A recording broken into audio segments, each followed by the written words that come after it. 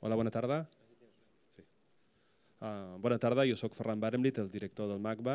Només volia donar-vos la benvinguda a tots a, a, a aquest seminari sobre punk, l'exposició que fins d'aquí a 10 dies es pot veure a la segona planta del museu. Avui és un dia molt especial, avui i demà, per, per uns ponents eh, de luxe i l'oportunitat de seguir eh, pensant en termes de, d'aquesta exposició que deu tant al pensament de totes aquestes persones, tant a la seva pràctica artística com als seus escrits. I, uh, i res, només donar-vos a tots les gràcies per, venir aquí, per estar aquí, als ponents per venir des de tan lluny i al David per organitzar-lo. Hola, ¿se me oye? Sí. Bueno, antes de nada, gracias a todos por estar aquí. Eh, realmente es un día muy especial y eh, estos dos días son dos días muy especiales porque Em, va, a haber, va a venir, eh, vamos a tener la oportunidad de discutir y de poner en un plano público una exposición que además dentro de la ciudad y dentro del museo ha tenido una cierta repercusión y que creo que no, está nada mal que podamos conversar sobre ella.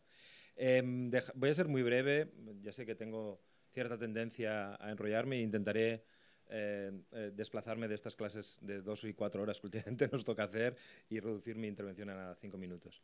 Eh, explicaros muy brevemente que sabéis de sobras que estáis en el contexto de un pequeño seminario en, en, relación con la exposición Punk, sus rastros en el arte contemporáneo, que es una exposición que ha pretendido desde el primer momento ser muy clara en sus intenciones.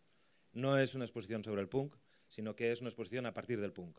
Es una exposición que piensa qué, rastros ha dejado en la producción artística contemporánea uno de los movimientos, uno de los, de los, eh, de, las, eh, de los movimientos culturales del siglo XX que seguramente, y bajo mi punto de vista, y bajo un punto de vista creo compartido por algunos aquí, más pozo ha dejado en la, en la cultura contemporánea. ¿Y cómo son detectables en arte contemporáneo? La primera pregunta que, que suscitaría o que uno plantearía es ¿por qué en arte contemporáneo? en arte contemporáneo porque seguramente dentro de los diferentes registros culturales, dentro de los diferentes lenguajes culturales, el arte contemporáneo ha sido uno de aquellos que más poroso ha sido a su propio cuestionamiento. No tanto a la criticidad, que también, que parece ser uno de los elementos que mueven buena parte de la producción contemporánea, sino que el mismo arte contemporáneo ha sido constantemente puesto en duda. El mismo se pone en duda y el mismo es constantemente puesto en duda. Y eso, de alguna manera, ya le, hacía, o parte de la tesis de la exposición que eso ya le hacía más poroso a recibir ese influjo del punk. Rastros hacía referencia de una manera muy evidente a un libro de Grail Marcus, Rastros de Carmín, en el que hacía una genealogía en la que venía a decir que esto del punk eh, venía de, un, rumor, de una cierta idea o de una cierta consideración de la cultura y del estar el mundo desde una cierta radicalidad. Y un rumor que había recorrido el siglo XX, que había recorrido el siglo XX, incluso Grail Marcus lo hace llegar mucho más allá, a movimientos muy anteriores. Que, ese, que, ese, que, el, que, el, eh, que el rechinar de dientes de, Johnny Rotten cantando Anarchy in the UK, que toda aquella rabia contenida de los, de los primeros punks, uno podía resentir que, venían que tenían el mismo origen que la rabia que seguramente había habido en el Cabaret Voltaire o incluso en episodios tan destacados como eh, Los Comuneros tirando abajo la columna Vendôme eh, mandados por Courbet. Que esos elementos de radicalidad que también podemos encontrar en el situacionismo y demás habían recorrido de alguna manera el siglo XX. Em, el propósito de esta exposición ha sido pensar desde, eh, desde, desde ese momento, desde los años 70, desde la segunda mitad de, de, la década de los 70 hacia hoy en día. Es decir, si las miguitas, ese, rumor, ese rastro, no solamente era posible reconstruirlo retrospectivamente hacia atrás, sino hacia adelante y ver qué, qué huellas había dejado en la creación contemporánea. Así que finalmente la exposición es una exposición que sin ser una exposición sobre el punk, habla a partir de otros y califica algunos de los elementos básicos o algunos de los elementos que entran en juego en el punk. De esta manera también pretendíamos esquivar eh, caer en tópicos y en prejuicios y tener una mirada mucho más amplia en la que, más allá del tópico, podíamos pensar en, cuestiones que tenían que ver con el género, que tenían que ver con la sexualidad, que tenían que ver con el ser político, si es que una y otra cosa no son diferentes, o si es que una y otra cosa son todas, no son todas las mismas.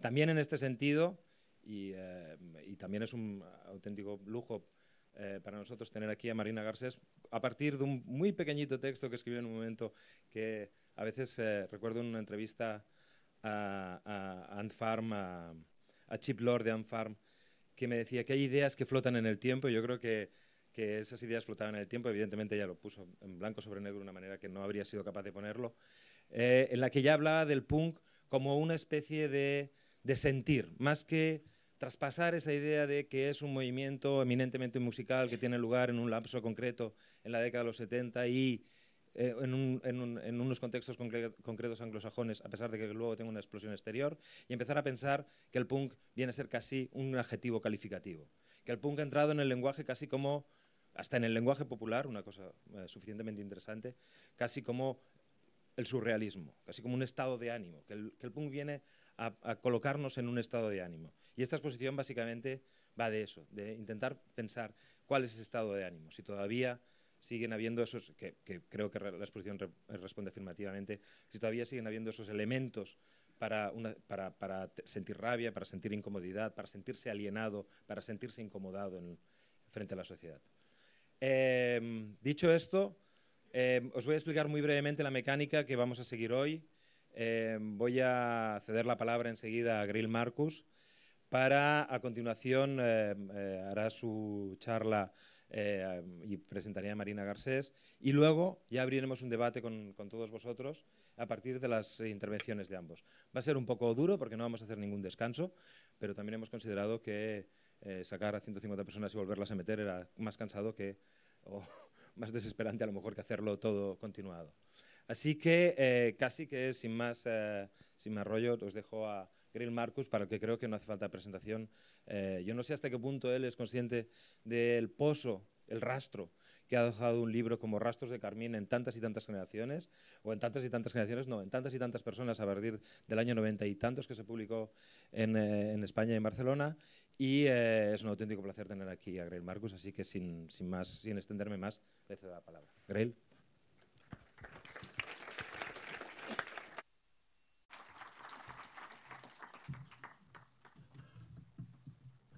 Thank you, David. Thank you, Ferran. Thank you, Alicia. Thank you, Maria. Thank you all for being here. Um, I so appreciate being invited to come back to Barcelona and particularly to MACBA. So, um, I was asked to talk about my book, Lipstick Traces. And I just want to reintroduce it for a moment and then tell some stories. This book, which was published 27 years ago, um, is about a simple serpentine fact that late in 1976, a record called Anarchy in the UK was released in London, and this event launched a transformation of popular music all over the world. It was made by a four man rock and roll band called the Sex Pistols. It was written by their singer, Johnny Rotten. And the song distilled in a crudely poetic form a critique of modern society that was once set down by a small group of Paris based intellectuals. They were first organized in 1952 as the Lettrist International they were refounded in 1957 as the Situationist International.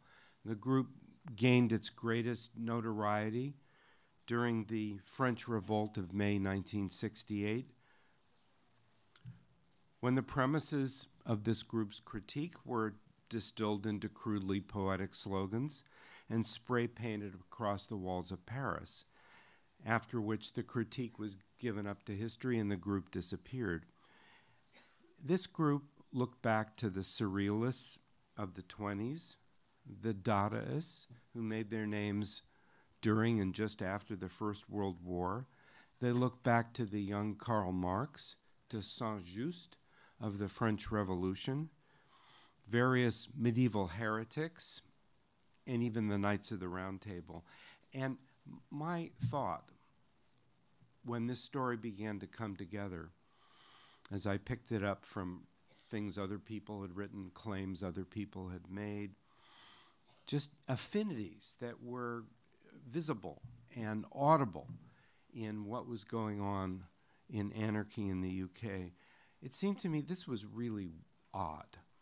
for a Gnostic and gnomic critique dreamed up by a handful of left bank cafe prophets to reappear a quarter century later to actually make the charts and then to come to life as a whole new set of demands on culture, this just seemed to me wonderfully odd. What was even more odd, or maybe just even more appropriate, was the way that this story, which I tried to trace over 500 pages, the way this story kept telling itself. Um, for a chapter on data, I introduced it by citing a tiny little item that had appeared in TV Guide, an American magazine that came out every week, and it was just a listing of everything that was on television. And it had very, very brief listings of each show. Um, for example, this is for a show called Ripley's Believe It or Not. And it was a show where, where all kinds of bizarre phenomena were um, bumped together uh, for, you, for you to watch. Ripley's Believe It or Not included hypnotism in medical science, Hugo Ball's sound poetry, the five year photographic journey of a red couch across America, uh, chef Klin Mahan from Thailand, and the space shuttle. Wow, all this stuff. None of it has anything to do with anything else, but it's all weird. Hugo Ball's sound poetry. And they're going to have a little item that says, once upon a time, somebody recited poetry that had no meaning. And that's, you know, something for you to watch on Saturday night and be amused by. About a year after Lipstick Traces was published, I met a man named Jed Rasulla, and he called me up. He set up a meeting. He said, I have something I want to show you. It turned out he was a producer on this show, Ripley's believe it or not. And he told me the story of what happened at this show. And I'd never seen the show, I just took this thing out of TV Guide. The host of the show was Marie Osmond. For those of you who don't know Marie Osmond, she was um, part of the corniest, whitest Jackson 5 ripoff band imaginable. Um, uh, Donnie and Marie Osmond, everything they did was coated in sugar, and everything that came out of them was sugar water. That's what their music was like. And here's Marie Osmond, and she became famous as, an, as a, a symbol of traditional values. In other words, fidelity in marriage, uh, going to church, uh, obeying authority. And she is the host of this program, and she's divorced. So her star rating is going down. It's not fitting her image. What she was supposed to do for this show was to recite one line of Hugo Ball's 1916 Dada sound poem, Caravane. Um, and she knew that all the producers thought she was a bimbo, that she was stupid, that she didn't have a brain in her head. So she studied this poem. She read it and thought about it. And when they put the camera on her, for her to do her little one line, she blew out the entire poem and probably gave it a reading beyond even Hugo Ball's um, most uh, ambitious imagination. So I want to show you what she did. Can we see the video?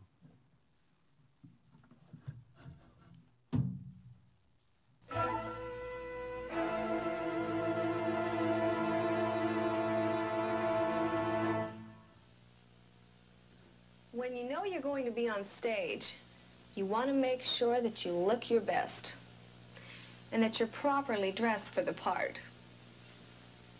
Appearance was especially important to a gentleman named Hugo Ball. He was a poet and a leader of an artistic movement called Dada. A hat like this was part of his costume, which looked like this. The number 13 on the cardboard tube that covered his face had nothing or everything to do with his performance. Dada artists didn't claim to make sense, but they did want to make unconventional artistic statements, most of them as a form of social protest. In this case, the statement included waving a small flag while reciting a nonsensical poem. The poem was written and first performed by Hugo Ball in Zurich in 1916. And it remains to this day a classic example of what Mr. Ball called sound poetry. Here's what it sounds like. A totally imaginary language invented by Mr. Ball.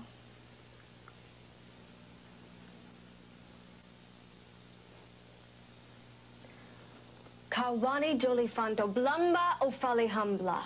Grossiga me pafla habla hormi gaga gorman. Hai globlo aikora sula huju. Holaka holala. An logobang, blagobang, blagobang baso futaka. U, u, u. Shampa u wala wasa. Olobo. Hechtada gorem esej zumbada. Wulubu susuba de uluwa susuba de tamba. Baumf. Kasagama. Baumf. It didn't make any sense, but it wasn't supposed to make any sense. But nevertheless, Mr. Ball's performance got a rousing ovation and turned out not to be a passing fancy, but a new art form, sound poetry. Thank you, Marie. Years after that, um, I was giving a talk at Columbia University in New York, and a woman came up to me afterwards, and she said, Do you remember that George Gross collage in Lipstick Traces? Let's see if this works. No, it did not. There we go. This is a collage that George Gross made about 1950. And I think it pretty well sums up his view of the world, and particularly the Ni- United States, where he was at the time. Um, he managed to find a death's head everywhere you looked. My favorite, I think, is uh, the peeled back sole of a boot, but it's just everywhere. So a woman came up to me, and her name was Margaret Smith, and she said, um, You remember that collage? And I said, Sure. And she said, Well, I had it tattooed all over my body. I said, You what? And she said, Yes. Want to look? And, you know, how could I say no? um, that was one. That's another. That's a third. These, I- mean, it was just stunning. It was just amazing. These were beautiful tattoos. And the idea that somebody would take a little artwork that was published in a magazine called Art International, fairly obscure magazine. I have no idea where the original is. I've never been able to track it down. Uh, and that she would decide to walk through the world, walk through life uh, as a tableau vivant. Just a thrilling thing. Um, but I want to talk today a little bit about style and about one of the central figures in Lipstick Traces, Guy Debord, who was born in Paris in 1931, committed suicide in 1994. From the early 50s through the early 1970s, Guy Debord was at the center of, of small groups of artists and critics calling themselves the Lettrist International and the Situationist International. He was the principal editor of their journals, first Potlatch and then International Situationiste. But he was most of all a writer, as Michel Bernstein, a founding member of both groups, once put it when asked about the activities of the groups, and they called themselves revolutionaries devoted to overthrowing all the unexamined assumptions about technology, economics, social life, history, and the future. She said, What we did can be put on the table. What we did was what we wrote. To read Guy Debord today is to come face to face with what the situationists like to call a reversal of perspective. Everything you know is wrong. But to read Guy Debord is also to come face to face with a question of style. His style is made up of severity, elegance, coldness. It's a style so driven, forbidding, and unyielding, with a kind of internal tension inside each sentence, that the style seems to burn off can't, can't, phony, received, secondhand thought that has no thinking in it. It can even repel Kant. You, you read him, you, a cliche rises in your mind, it just kind of dribbles into pieces. But there's also a cryptic, alluring, and poetic rhetoric. It's not the kind of rhetoric that comes from a speaker's platform or a loudspeaker. It's the kind of rhetoric that is whispered from an alley, like the situation a slogan, and it was never meant to be a slogan, it was just a line in an essay. Our ideas are in everyone's mind.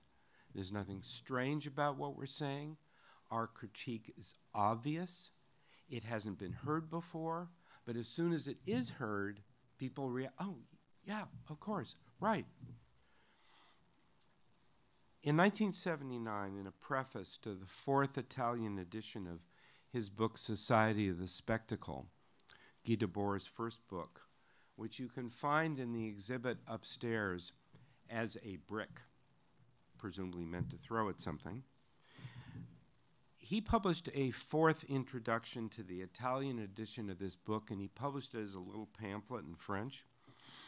Society of the Spectacle is a noisy book. It has a lot of uh, Debord's beloved Zorro westerns and comic strips in it, a lot of bang, bang, bang, bad ideas shot down, bang, bang, bang. The central line of that preface is for me this.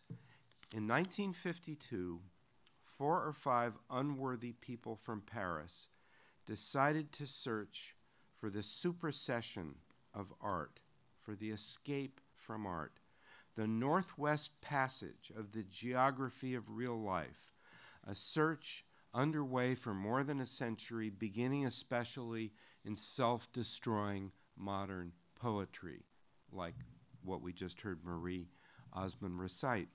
We were a handful, Debord wrote later in a book called Panegyric in 1989, speaking of the group that in 1952 called itself the Lettrist International we were a handful who thought it was necessary to carry out the program of modern poetry in reality, to drive its stampede toward the dissolution of language straight, through the walls of social life.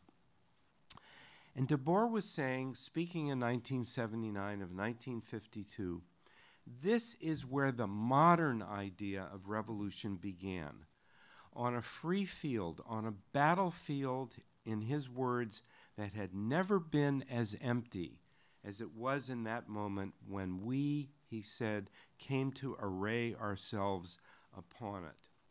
The idea of revolution was gone. It was dead. It was forgotten. It was a joke.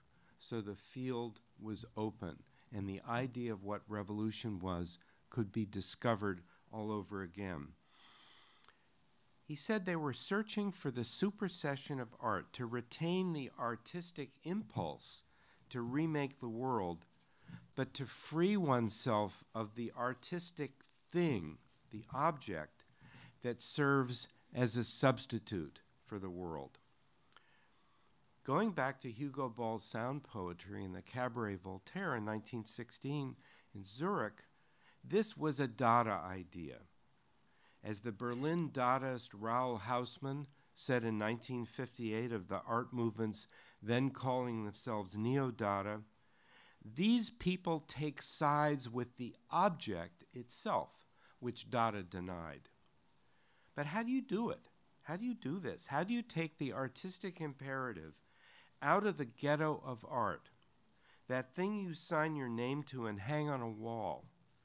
How do you make everyday life, ordinary life, the life that we all actually live, replace the canvas or the page or the screen as the site of experiment and creation, what Debord would call so mysteriously the construction of situations.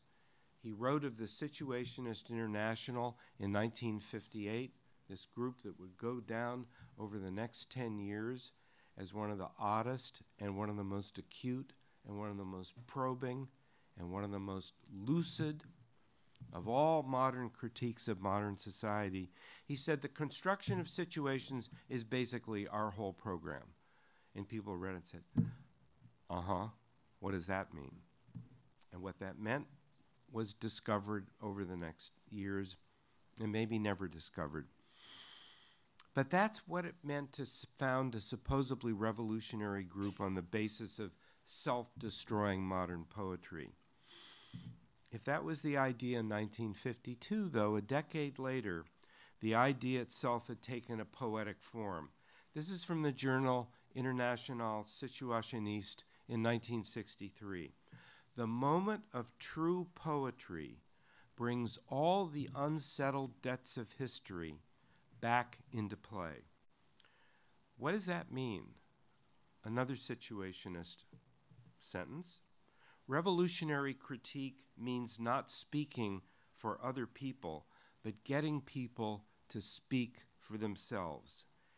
And what that means is up to you, dear reader, to find out, to prove in the world. Does it mean writing a poem, speaking that poem out loud? Today, Richard Linklater is an internationally celebrated film director. For his first movie, in 1992, a movie called Slacker.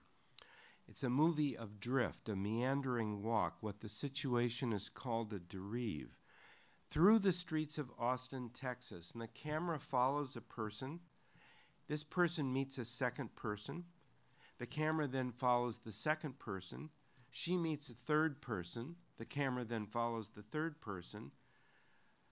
For that film, Richard Linklater took The Naked City, Guy Debord's 1957, what he called psychogeographical map of Paris as a touchstone, a map of drift, a map that would show you with arrows what part of the city would attract you to what other part of the city. He took Debord's map as a touchstone. He substituted Austin streets on the t shirts he had printed up to advertise his movie. And he also took the words, The moment of true poetry brings all the unsettled debts of history back into play as his motto. And what did he mean? What did he want? Did Linklater mean that the moment of true poetry puts the meaning of such words as true and debts and history and even play and poetry in doubt? so that you suddenly no longer know what they mean, just as if they have turned into a sound poem like Marie Osmond recited? Does the moment of true poetry mean one can reinvent meaning? Or that you have to invent, reinvent meaning? That moment of true poetry, is it graffiti on a wall? Almost all graffiti passes unnoticed almost all graffiti is indistinguishable from dirt. But what if it was the right graffiti at the right time, in the right place, which nobody could predict? But things came together in just such a way that people actually saw it, and it changed the way they thought about themselves and the streets they walked through. Does the moment of true poetry mean a public action? what in 1965 Bob Dylan was calling for a march, not exactly against the Vietnam War. And he was asked, Are you going to take part in the march against the Vietnam War tomorrow in San Francisco? It wasn't a march that he was thinking about that was necessarily against anything. It depended on how you looked at it. Whether from inside the demonstration or outside of it.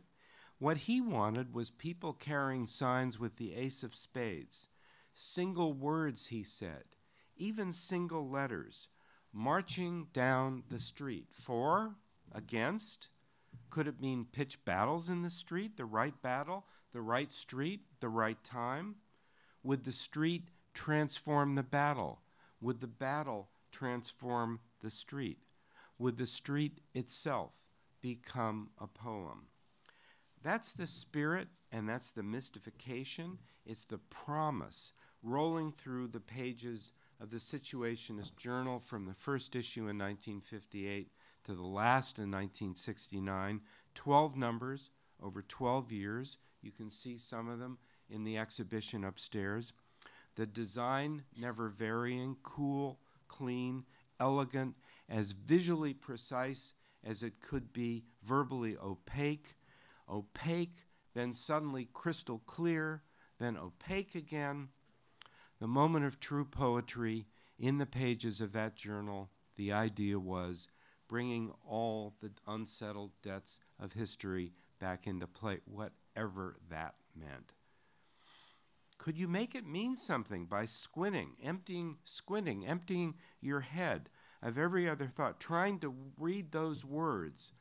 Bring back debts, history. Trying to read those words as if you'd never heard those words in any order, in any place before. Or did it mean what the newscaster Scoop Nisker would say in the late 60s on the underground radio station KSAN in San Francisco? at the end of every hour, the end of every show. If you don't like the news, you don't like the news, huh? Bye. Um, if you don't like the news, go out and make some of your own. Debord's style, Debord's style, his, his voice of way of speaking, his way of being heard, but also his way of bringing down a certain silence, a kind of pause, what the art historian T.J. Clark in the late 60s, a member of the Situationist group, 15 years later called Debord's Chiliastic Serenity. Debord's style is complex, it's made of many parts. But finally, it comes down to this you set an idea, poetically expressed, loose in the world. The idea is not random. The idea itself isn't loose from the world. It's meant to be a critique of modern life and all of its forms of oppression. It's part of a critique in words to match what Debord called the critique in acts the situationists saw emerging all over the world, saw especially in the Watts riots in Los Angeles in 1965. And there's an absolutely stunning video in the exhibition um, of those uh, of, of footage from the Watts riots with a text from the Situationist essay uh, on them that appeared almost immediately, and and you know to show how seriously they took their critique of the Watts riots. They had it translated and printed in English even before it appeared in French in their own journal, distributed across the United States in underground newspapers wherever they could get it. So this is the critique in words matching the critique in acts. And these could be like as, as, something as big as the Watts riots or as small as a tiny act of refusal, like giving away the name of the killer before the end of a TV suspense series in Germany, or the collective action of Japanese factory workers against a ban on wearing lipstick, or acts of a different size and different spirit. Acts that created a picture of a whole world of people waking up to a constructed, false, and sterile world that the moment of true poetry could crack. Here are some moments of true poetry. They're from an exhibition on the Situationists in Paris in 2013. One of the things was absolutely the smallest piece in the entire exhibition. It was four collaged comic strip panels perhaps from 1960, and they were of a piece with the comic panels used in the Situationist Journal, but here they were cut up in bits and pieces of stories used to tell new stories. In the first panel, you see a Flash Gordon like ray gun fighter with a photo of a man watching from a corner cut in with a comic text. How dare you help mankind without first getting the approval of the all seeing eye? For that you must die. There is an all seeing eye. There is total surveillance. You can't do anything, no matter how good, without permission first. And that's as true and poetic a statement of the Situationist project as you'll find anywhere. Helping mankind without getting the approval of the all seeing eye. It's with a huge grin, but the artist won't let it go, and it goes in a haunt in Les Halles, followed by the comic strip, we, the unconquerables, are the unconquerables are the underground foes of the clan of censors, and their chief, the all-seeing eye. And behind that, you can see a photo of Michelle Bernstein, who I mentioned a moment ago, being filmed as she lights a cigarette, and there's a bit of printed text. They often trumpet their indescribable orgies. So that is one funny, ironic, not ironic, invisible, unpublished, tiny little gesture at the world, and as a moment of true poetry, as complete a picture of the romantic, ridiculous role of the artist revolutionary as anybody could want. But another moment of true poetry took place earlier that same year, in February of 2013, in the Cathedral of Notre Dame in Paris. And I'm speaking of the Femin action when Pope, Benedict announced his resignation. Femin invaded the cathedral, the cathedral, full of worshippers, full of tourists, a whole troop of women naked to the waist. This is a typical reaction. And here is a better picture of the group. They invaded the cathedral and they shouted slogans, their bodies covered with slogans painted in English and in French Pope no more, Saved by the Bell, Pope, Game over, Christ de foi. People are covering their eyes, they're looking through their fingers, they're screaming, guards are grabbing the women. Because of what these women did in Notre Dame, though, the place suddenly became the vortex of symbolic speech in Paris. Not long after the Femin invasion, the fascist activist and historian Dominique Venner shot himself in Notre Dame, supposedly as a protest against the degeneration of modern civilization, as a protest against gay marriage. You could perhaps have heard it all in the sound of the Femin women ringing the huge cathedral bell, a sound that may or may not echo into the future, but which brought the unsettled debts of history, especially the history of the Lettrist International and the Situationist International, back into play. But here is a newspaper called Rue 89, the Nouvelle Observateur, Observateur blog the very next day. And here's the headline Oubliez les femmes. Voici le vrai scandale de Notre Dame de Paris. Forget Femin. Here's the real Notre Dame scandal. Announcing, as so many people love to do, that there is nothing new under the sun. Femin in Notre Dame, forget it. Bow to your ancestors. It had all happened before, the story said, and naturally, so much better. It was Easter 1950, with High Mass being celebrated in the Cathedral of Notre Dame in Paris.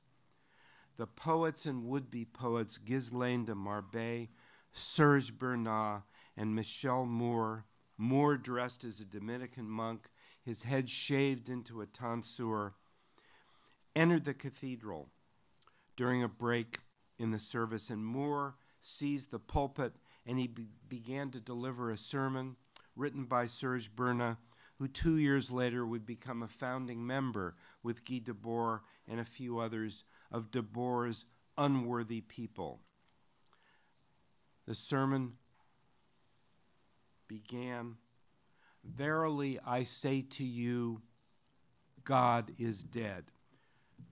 The Swiss guards of Notre Dame drew their swords, rushed forward, and attempted to kill Michel Moore right in the cathedral. He and the rest fled uh, down the quay out of the cathedral and were rescued from the mob pouring from the cathedral by the police. They were thrown in jail. Here they are under arrest. Moore was put on trial, and the event dominated the pages of the left wing daily newspaper Combat for days. And as a human interest story, it ran in newspapers all over the world. I did not know Michel Moore, who immediately repented, and I did not participate in the scandal, Debord wrote in 1989.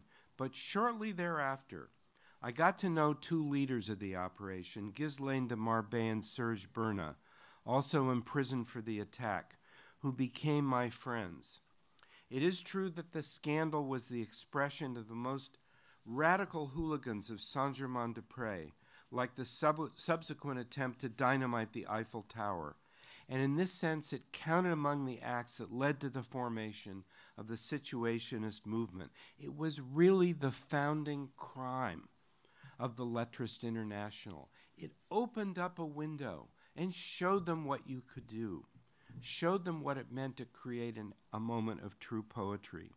And this great act always hung over them like a shadow. It was the big bang that set them loose in the world. That was what Rue 89 wanted you to forget Femin for. Oubliez les femmes.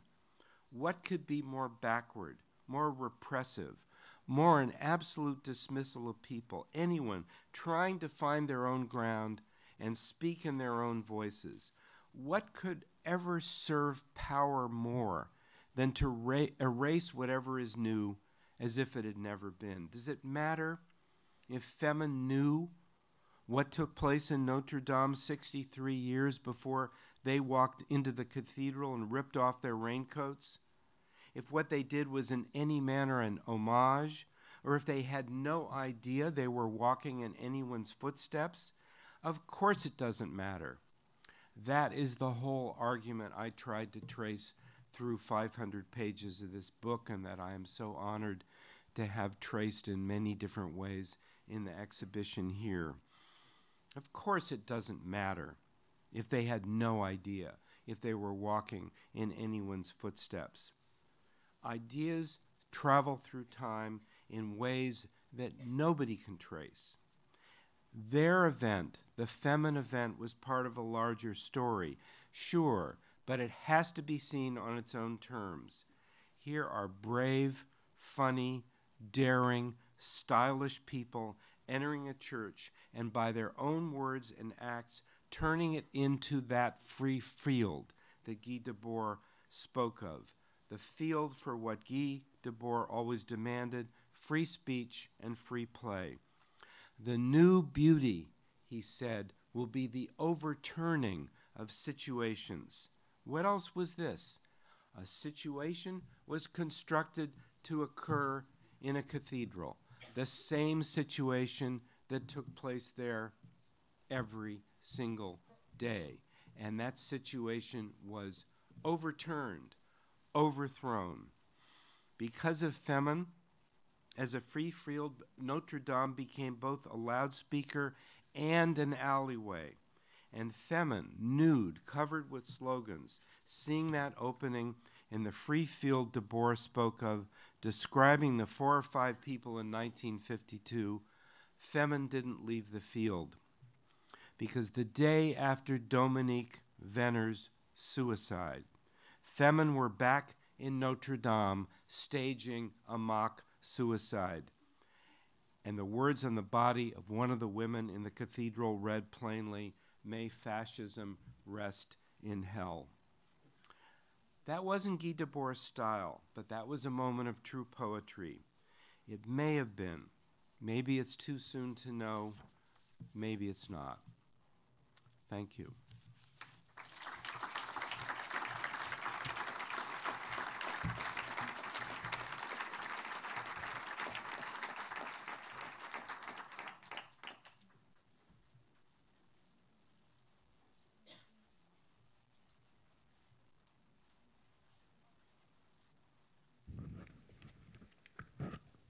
Muchas gracias, Grail.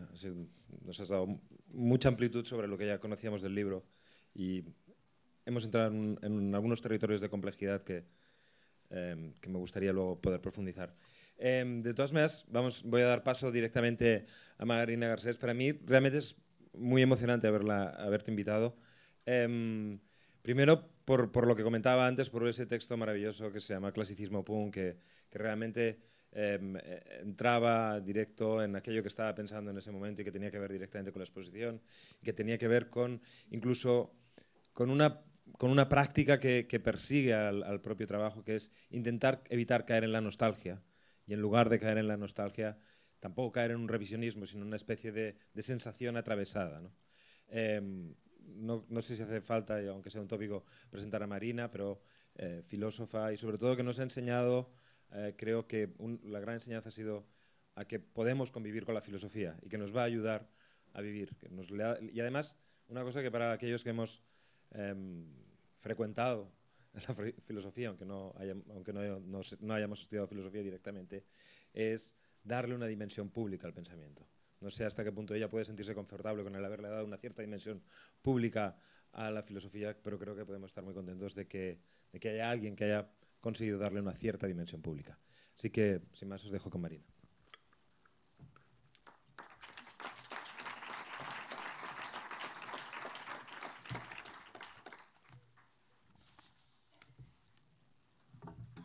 Voy a cambiar de, escritorio un momento, o sea que si hay alguien que tiene que, no que salir, pero que ir al, lavabo o estirar las piernas, lo podéis hacer, a ver hacerlo. Sí.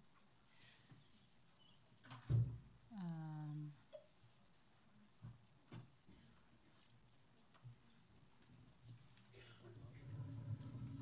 ¿qué, qué ah, vale. Sí, lo, lo acerco.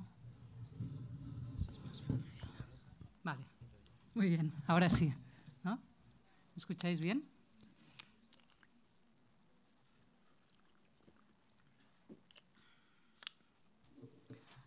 Bueno, pues muchas gracias por, por, haberme invitado a estar aquí, quizá siguiendo esos caminos de las ideas, ¿no? de los que hablaba ahora Grail Marcus, esos caminos por, las que, porque las, por los que las ideas viajan y nadie puede, nadie puede trazar. Pues seguramente nadie podrá trazar muy bien porque estoy yo aquí, si ni viví ni conozco directamente el movimiento punk, si no he estudiado directamente los movimientos artísticos del siglo XX que se recogen en esta exposición, pero con todo, lo que, con, pero con todo ello creo que sí que hay algo que me lleva aquí, sobre todo y de forma muy concreta, este artículo al que se refería ahora David, un artículo que escribí casi haciendo una especie de, de gesto ¿no? radical dentro de un libro que se llama uh, Cultura en tensión, Cultura en tensió, está editado por Rajbert en catalán y en castellano, un libro que quería cuestionar un poco todo el panorama de la gestión cultural y como de nuevo me encontraba en un libro sobre el que se suponía que tenía que decir algo acerca de lo que no sé, que es la gestión cultural, pues abrí un frente, ¿no? una fractura, una brecha desde la cual interrogarnos hoy por qué y desde dónde seguimos hablando y nos interesa tanto y seguimos dando tantas vueltas a una cuestión y a una palabra tan denostada también como es la palabra cultura. Entonces ese artículo se titulaba Clasicismo punk, clasicismo punk, y empezaba con estas palabras. Decía, no he vivido en tiempos de clasicismo, ni llegué a tiempo de respirar en directo el movimiento punk. A mí, como a tantos, me malcrió la posmodernidad, ese tiempo en el que los clásicos eran colecciones de kiosco y el punk se exponía en los movimientos de arte contemporáneo y poco después, pocos meses después, veo el anuncio de que efectivamente el punk llega al, Museo de Arte Contemporáneo de Barcelona. Y aún unos meses más tarde, a raíz de una llamada, me encontré que yo misma, de la mano de ese punk que no había vivido y que solo había podido uh, entrever en, en, el, en el museificado en el mundo de la cultura, me llevaba a mí también al museo, es decir, hoy aquí. Dios te ha castigado, me hubiera dicho mi madre. ¿no? Déu t'ha castigat por escribir sobre lo que no sabes, por meterte ahí donde no te corresponde, ¿no? por entrar con la filosofía, con esta filosofía de guerrillas en la que yo creo en los enfrentes que no son propios, ¿no? en que son enfrentes inapropiados. Dios te ha castigado, mi madre, que era muy atea, pero no se liberó nunca del espíritu del castigo, ¿no? de esa visión tan cristiana de que todo desafío, de que, toda, así, de, que todo atrevimiento tendrá que ser pagado. En este sentido, puedo decir que mi madre era muy atea, pero muy poco punk. El punk nos enseñó, entre otras cosas, que no hay castigo, que no hay condena, que quizá seremos destruidos, pero que lo haremos nosotros mismos. Destrucción, do it yourself. Violencia, pero sin dominación. Desgarro, pero sin deudas, sobre todo sin deudas ni nada que pagar. Nada que pagar, yo creo que es este el sentido profundo del no futuro, el no futuro como realmente como posicionamiento emancipador de liberación, aunque comporte violencia y destrucción. Un no futuro que declara nuestras vidas no tienen nada que pagar, no tienen ninguna deuda, no aceptan ninguna condena ni ningún castigo. Este sentido del nada que pagar es un sentido en el que sí que puedo decir, o respecto al cual puedo decir que viví algo directamente en concreto, porque algo así es lo que decíamos a final de los años 90 y principios de los 2000 en el movimiento Dinero Gratis, que emergió aquí en Barcelona en un colectivo del que yo formaba parte, y que si podemos proyectar, veréis aquí algunas imágenes. Sí, es una web de esos años en que se confeccionaban aún manualmente en HTML y es así de, sencilla. Imágenes como estas, carteles como estos, trabajar es ensayar la muerte, no queremos trabajo, queremos dinero, darse dinero libera del dinero, y otras tantas con un epitafio abajo que dice, el dinero gratis es un grito de asco contra la miseria cotidiana. Quizá dinero gratis es la única experiencia un poco punk que aún he podido vivir en primera persona.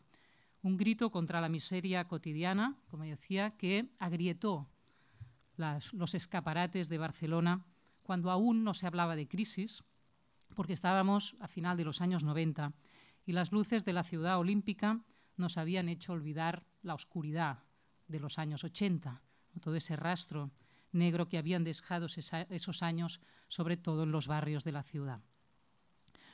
¿Cuánto vale tu vida? Nos preguntábamos. ¿Cuánto estás dispuesto o dispuesta a pagar por tu vida? Y Dinero Gratis decía, no pagaremos con nuestras vidas nuestra falta de vida. Trabajar, como decía uno de estos carteles, es ensayar la muerte. Esta campaña gráfica y este movimiento que comportó muchas acciones de reapropiaciones de, bienes en, supermercado, en supermercados, de ocupaciones, de irrupciones en el espacio público, etcétera, salió con un manifiesto del que os quiero leer un par de párrafos, porque claramente está aún escrito bajo los, ecos del punk. Empezaba así. Hace tiempo que el cielo ha caído. Hace tiempo que la noche nos posee y que somos noche.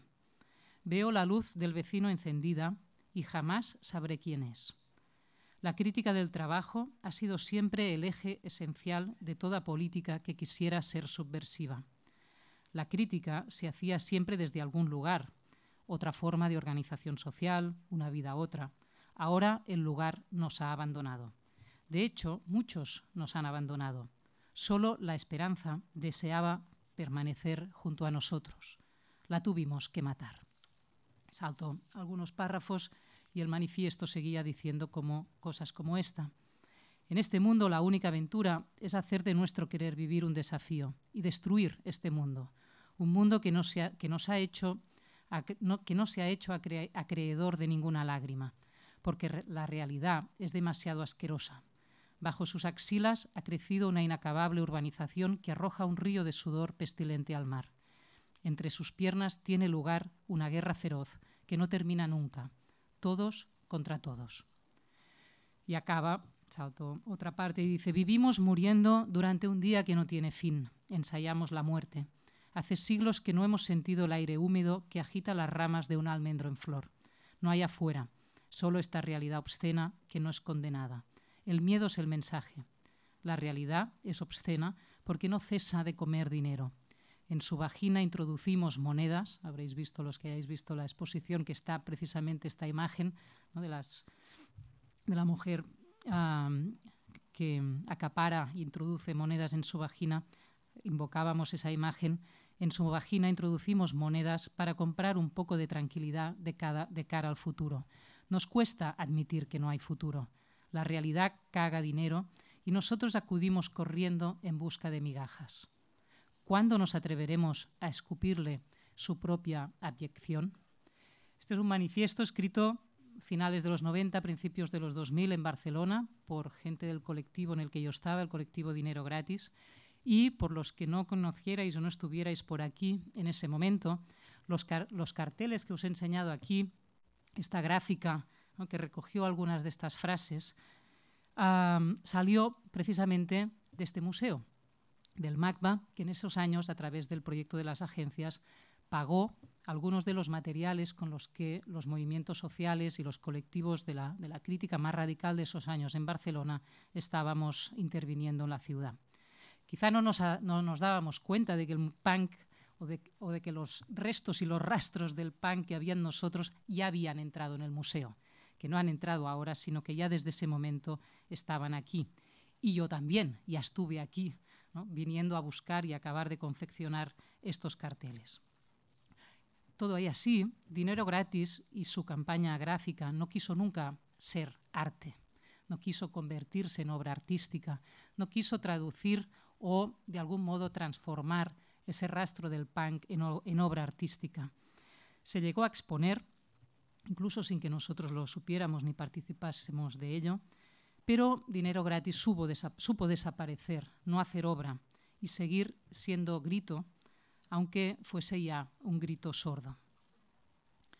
De Dinero Gratis hace ya más de 15 años y ahora, como decíamos, el, el punk llega al MACBA con esta exposición en un momento en el que yo diría que los movimientos críticos, de pensamiento crítico, de creación más crítica, también de las formas de vida, porque creo que sobre todo estamos hablando de formas de vida, de actitudes, de ese espíritu asociados a la crítica radical, a la, al anticapitalismo, ¿no? al anticonvencionalismo, etcétera, parecen más alejadas que nunca de ese espíritu, del espíritu punk y de todo lo que él conllevaba.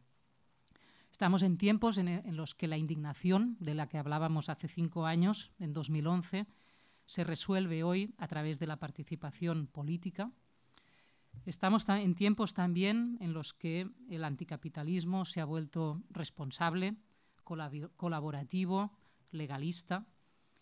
La gente más radical y más crítica somos gente educada, amable, dialogante, presentable. Y todos vivimos además con cautela, incluso con cálculo, nuestras vidas, nuestras distintas uh, precariedades. Críticas frontales y disruptivas, como era aún en parte dinero gratis, caen mal, molestan, incomodan. Por eso se han convertido en gritos sordos. Y hemos tenido que pasar, muchos de nosotros, a encontrar o a buscar formas más suaves de expresión para poder seguir dando patadas en el estómago.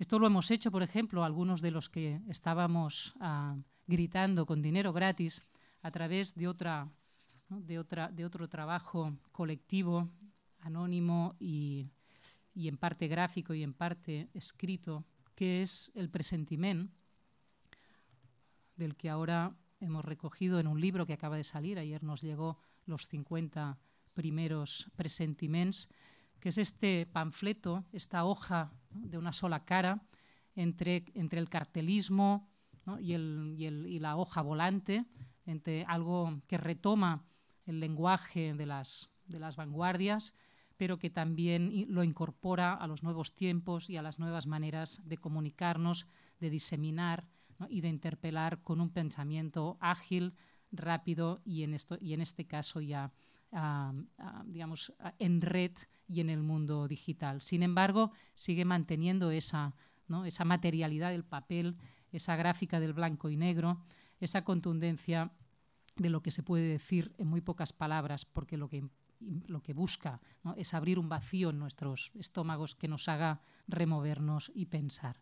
Quería poneros solo uno para que veáis lo bajito que hay que decir ciertas cosas para que las podamos hoy escuchar o para que puedan ser escuchadas. Este es un presentiment, una hoja en blanco, un DIN A4, que con un pequeño mm, una pequeña hojita grapada a mano y muy pequeña dice, hay que desesperar de todo por lo menos una vez. Sentencias que abren abismos sobre los cuales volvernos a pensar y que quizás suavemente y con gráfica muy fina siguen dando alguna patada en el estómago en esta pretensión de normalidad en la que seguimos escondiendo tantas veces nuestras cabezas bajo, bajo el ala. Si nuestros tiempos son así, si nuestros tiempos son de esconder las patadas bajo palabras finas, amables, escuchables, traducir el anticapitalismo en políticas mm, responsables, lo que me pregunto, y es la pregunta que quería compartir aquí hoy con vosotros para pensarla juntos en el tiempo que tengamos, pero también más allá de aquí, cada uno con sus inquietudes, lo que me pregunto realmente es, es si realmente nos hemos vuelto tan poco punks como parecemos. Realmente nos hemos vuelto tan poco punks como, como parecemos, es decir, realmente hemos enterrado toda esa rabia, toda esa expresión de esa, posibilidad que preguntaba el manifiesto de dinero gratis de, vo de, vomitarle al mundo su abyección. Nos hemos vuelto tan poco punks como parecemos. Si comparto esta pregunta aquí es porque no la tengo uh, resuelta con conclusiones, sino que es una inquietud, un problema con el que intento pensar, pensar, pensarme, pensar mi trayectoria de pensamiento y de activismo y también ir al encuentro de vuestras de vuestras inquietudes. Y lo que me gustaría es hacer, a partir de esa pregunta, un par de caminos, ¿no? dos, dos, dos, dos recorridos de reflexiones para dar y darnos elementos y herramientas para pensarla. En primer lugar, llevaré por estos caminos impensados de las ideas el punk como, más como actitud, como espíritu que como movimiento específicamente histórico, a sus condiciones dentro de la cultura moderna. El punk parece venir como a clausurar, ¿no? a impugnar un pasado de la cultura moderna. Yo creo que tiene sus condiciones en la cultura moderna y es lo que intentaré exponer y argumentar en un primer camino. Y en segundo lugar, lo que haré o lo que os propongo es desarrollar desde aquí o em, emprender desde aquí una búsqueda de esos rastros del punk pero de, sus rastros invisibles, de esos rastros que ya parecen irreconocibles en nuestras formas de hacer hoy crítica y pensamiento radical, y no los buscaré en el arte específicamente, sino en los movimientos críticos y en las formas de vida que se dan hoy en disidencia respecto a las formas de dominación de nuestra sociedad actual. En primer lugar, pues, y muy brevemente, las condiciones modernas uh, del punk, ya digo, como espíritu, como actitud, como palabra casi del lenguaje común de, con la cual podemos entender cuando decimos a, de algo, esto es muy punk. ¿no? Yo diría, y así lo explico, lo argumento más detalladamente en el, en el artículo del que os hablaba antes, este clasicismo punk, que el punk tiene que ver con una protesta que nace con el sistema de la cultura. Es decir, que eso que llamamos punk, o que desde que existió el punk podemos llamar también retrospectivamente punk, tiene que ver con una forma de crítica radical que tiene lugar y empieza a tener lugar y se hace necesaria ya desde el primer momento en el que la cultura se convierte en el medio privilegiado desde donde comprender y ejercer la vida. Y aquí le robo una, una, frase a Antonin Artaud, un, uno de los, para mí, de, los, de estos clásicos punks, la cultura como medio privilegiado desde donde comprender y ejercer la vida, eso es lo que aparece con la modernidad cuando, en sustitución de la religión, que no desaparece, como hemos visto aquí con las fotos de Notre Dame, no desaparece de la vida social ni cultural, pero pasa a ocupar otro lugar, a no ser ya el medio privilegiado donde comprender y ejercer la vida y pasa a serlo la cultura. Dice Hegel en pleno siglo XIX ¿no? que la cultura es ese duro trabajo, ese arduo trabajo de la subjetividad para ir más allá del, inmediatismo y de la particularidad. Por eso la cultura es un medio y no solo un producto, un conjunto de productos o un corpus de obras y de, y de autores. La cultura es un medio porque es ese duro trabajo de la subjetividad y en ese sentido incumbe a todos para ir más allá del inmediatismo y de la, particular, y de la particularidad, es decir, de, la, de estar pegados a las cosas tal como se nos dan y a nuestros pensamientos tal como nos llegan. Esta subjetividad que, des, fijaos, uh, que habla de trabajo, estamos también en, el nacimiento y, y articulación del capitalismo moderno, del capitalismo industrial, es una subjetividad que trabaja, que se trabaja culturalmente, y que por lo tanto es inseparablemente también una subjetividad económica y política.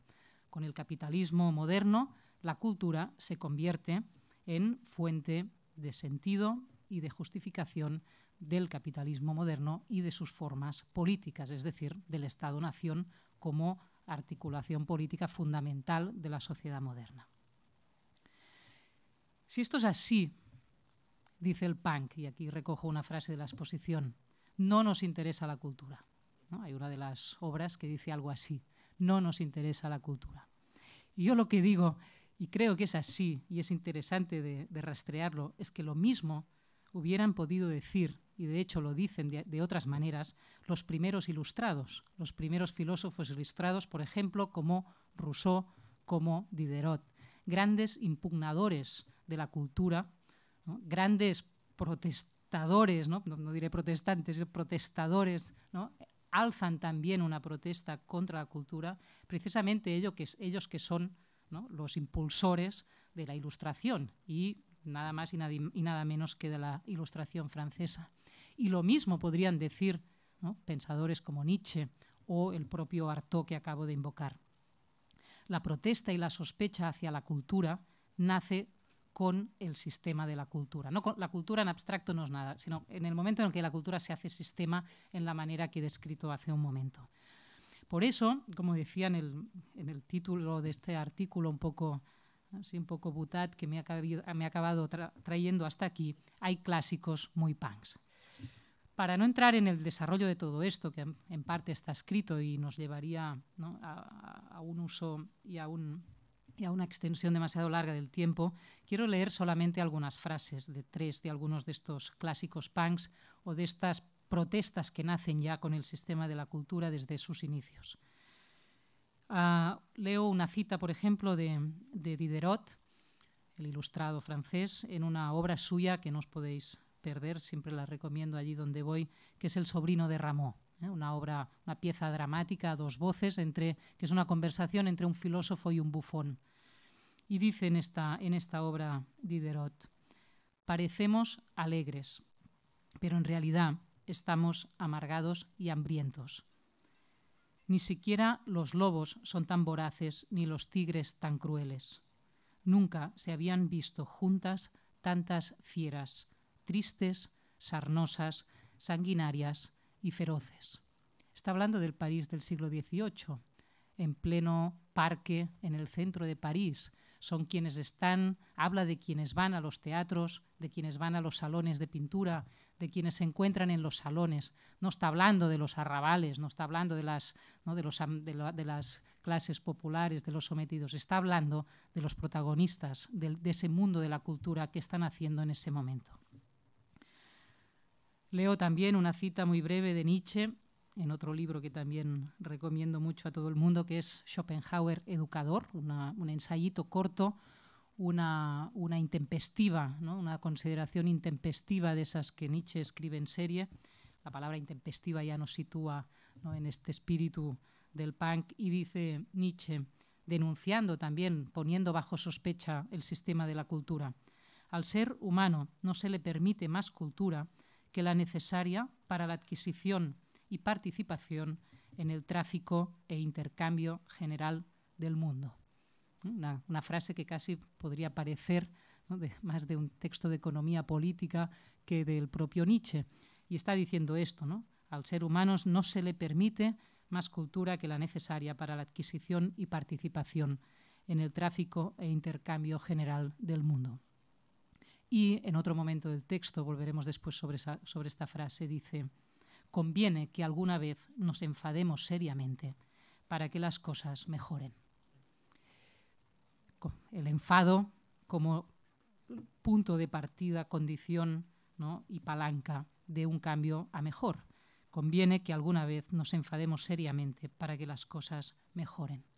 Y finalmente una tercera referencia en estas, en estas pistas de esta protesta que ha ido saltando por estos caminos impensados de las ideas de los que hablaba Marcus, dice Artaud en el teatro y la cultura, que la cultura nunca ha resuelto el hambre de ningún hombre, de ningún ser humano, pero que la cultura, precisamente por eso, necesita ideas, necesita formas que tengan la fuerza del hambre, que tengan la fuerza del hambre. ¿Cuáles son?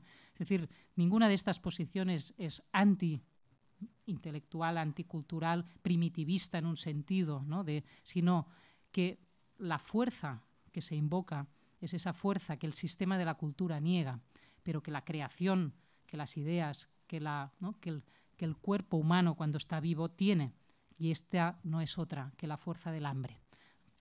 Llevar la fuerza del hambre al mundo de la cultura para hacerlo estallar, para sabotear sus códigos y sus instrumentos y abrir ahí eso que realmente necesitamos, es lo que busca todas estas formas de protesta que nacen ya con el sistema de la cultura.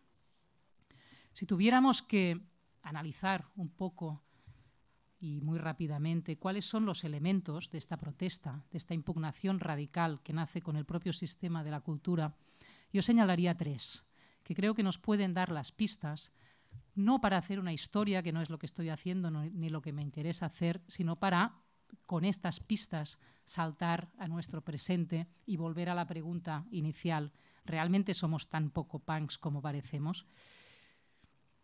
Estos elementos, para mí, decía, y hay muchos más, pero si tenemos que destacar algunos, creo que son tres los que nos pueden servir.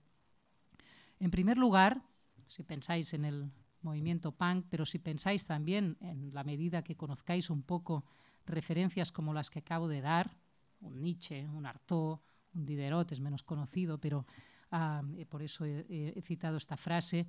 En primer lugar, lo que hay en estas formas de protesta es un cuerpo, una apelación al cuerpo como aquello que desmiente los valores y las formas de la cultura del propio tiempo y las desvela como hipócritas e instrumentales.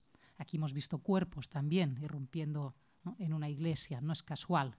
El cuerpo es siempre el punto de partida esa condición básica, ese lugar uh, propio e impropio a la vez, esa fuerza del hambre, que no solo el hambre de llenar el estómago, sino eso que nos lleva más allá, que nos hace potencia y que desmiente, desvela como hipócritas las formas uh, y los valores de la cultura del propio tiempo.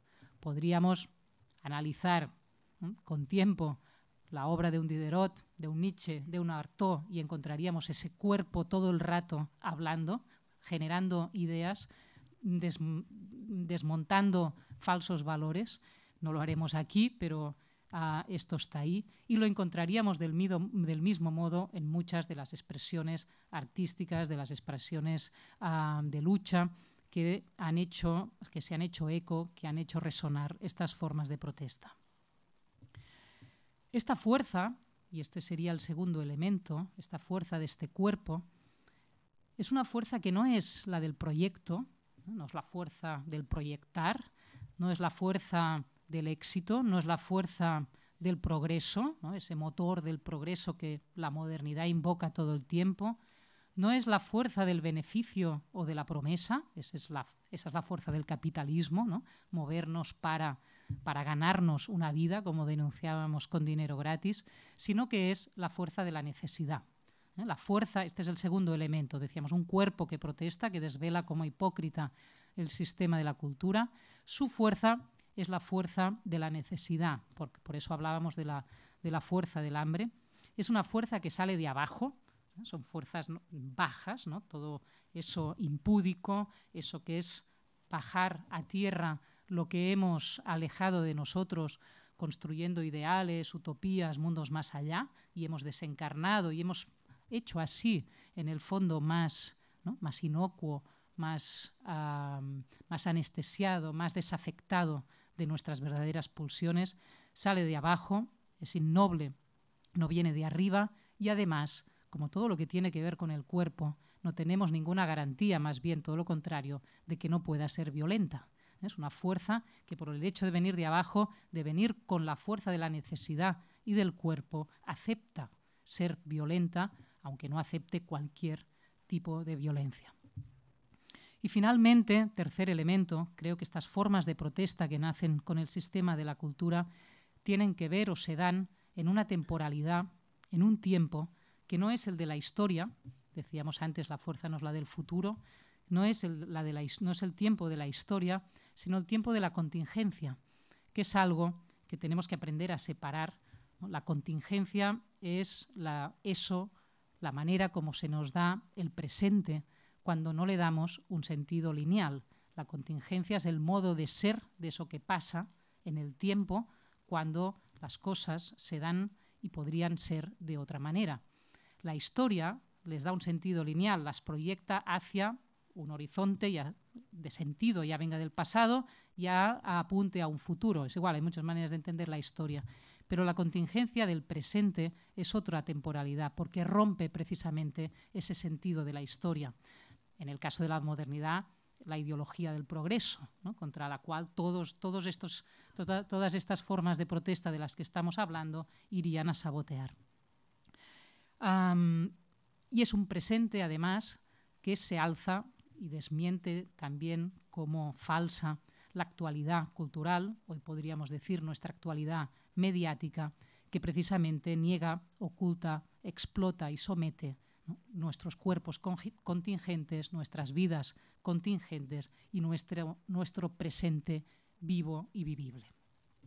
Este cuerpo que, que desmiente los valores, esta fuerza que no es la del proyecto y la del futuro, sino la de la necesidad, y este tiempo que no es el de la historia, sino el de la contingencia presente, creo que son tres grandes rasgos, tres grandes elementos de estas formas de protesta que entiendo que tienen que ver muy directamente con el movimiento punk específicamente hablando y con todos los movimientos que tienen que ver con él y con aquellos que también Grail Marcus ha rastreado y mapeado también a través de, de sus trabajos.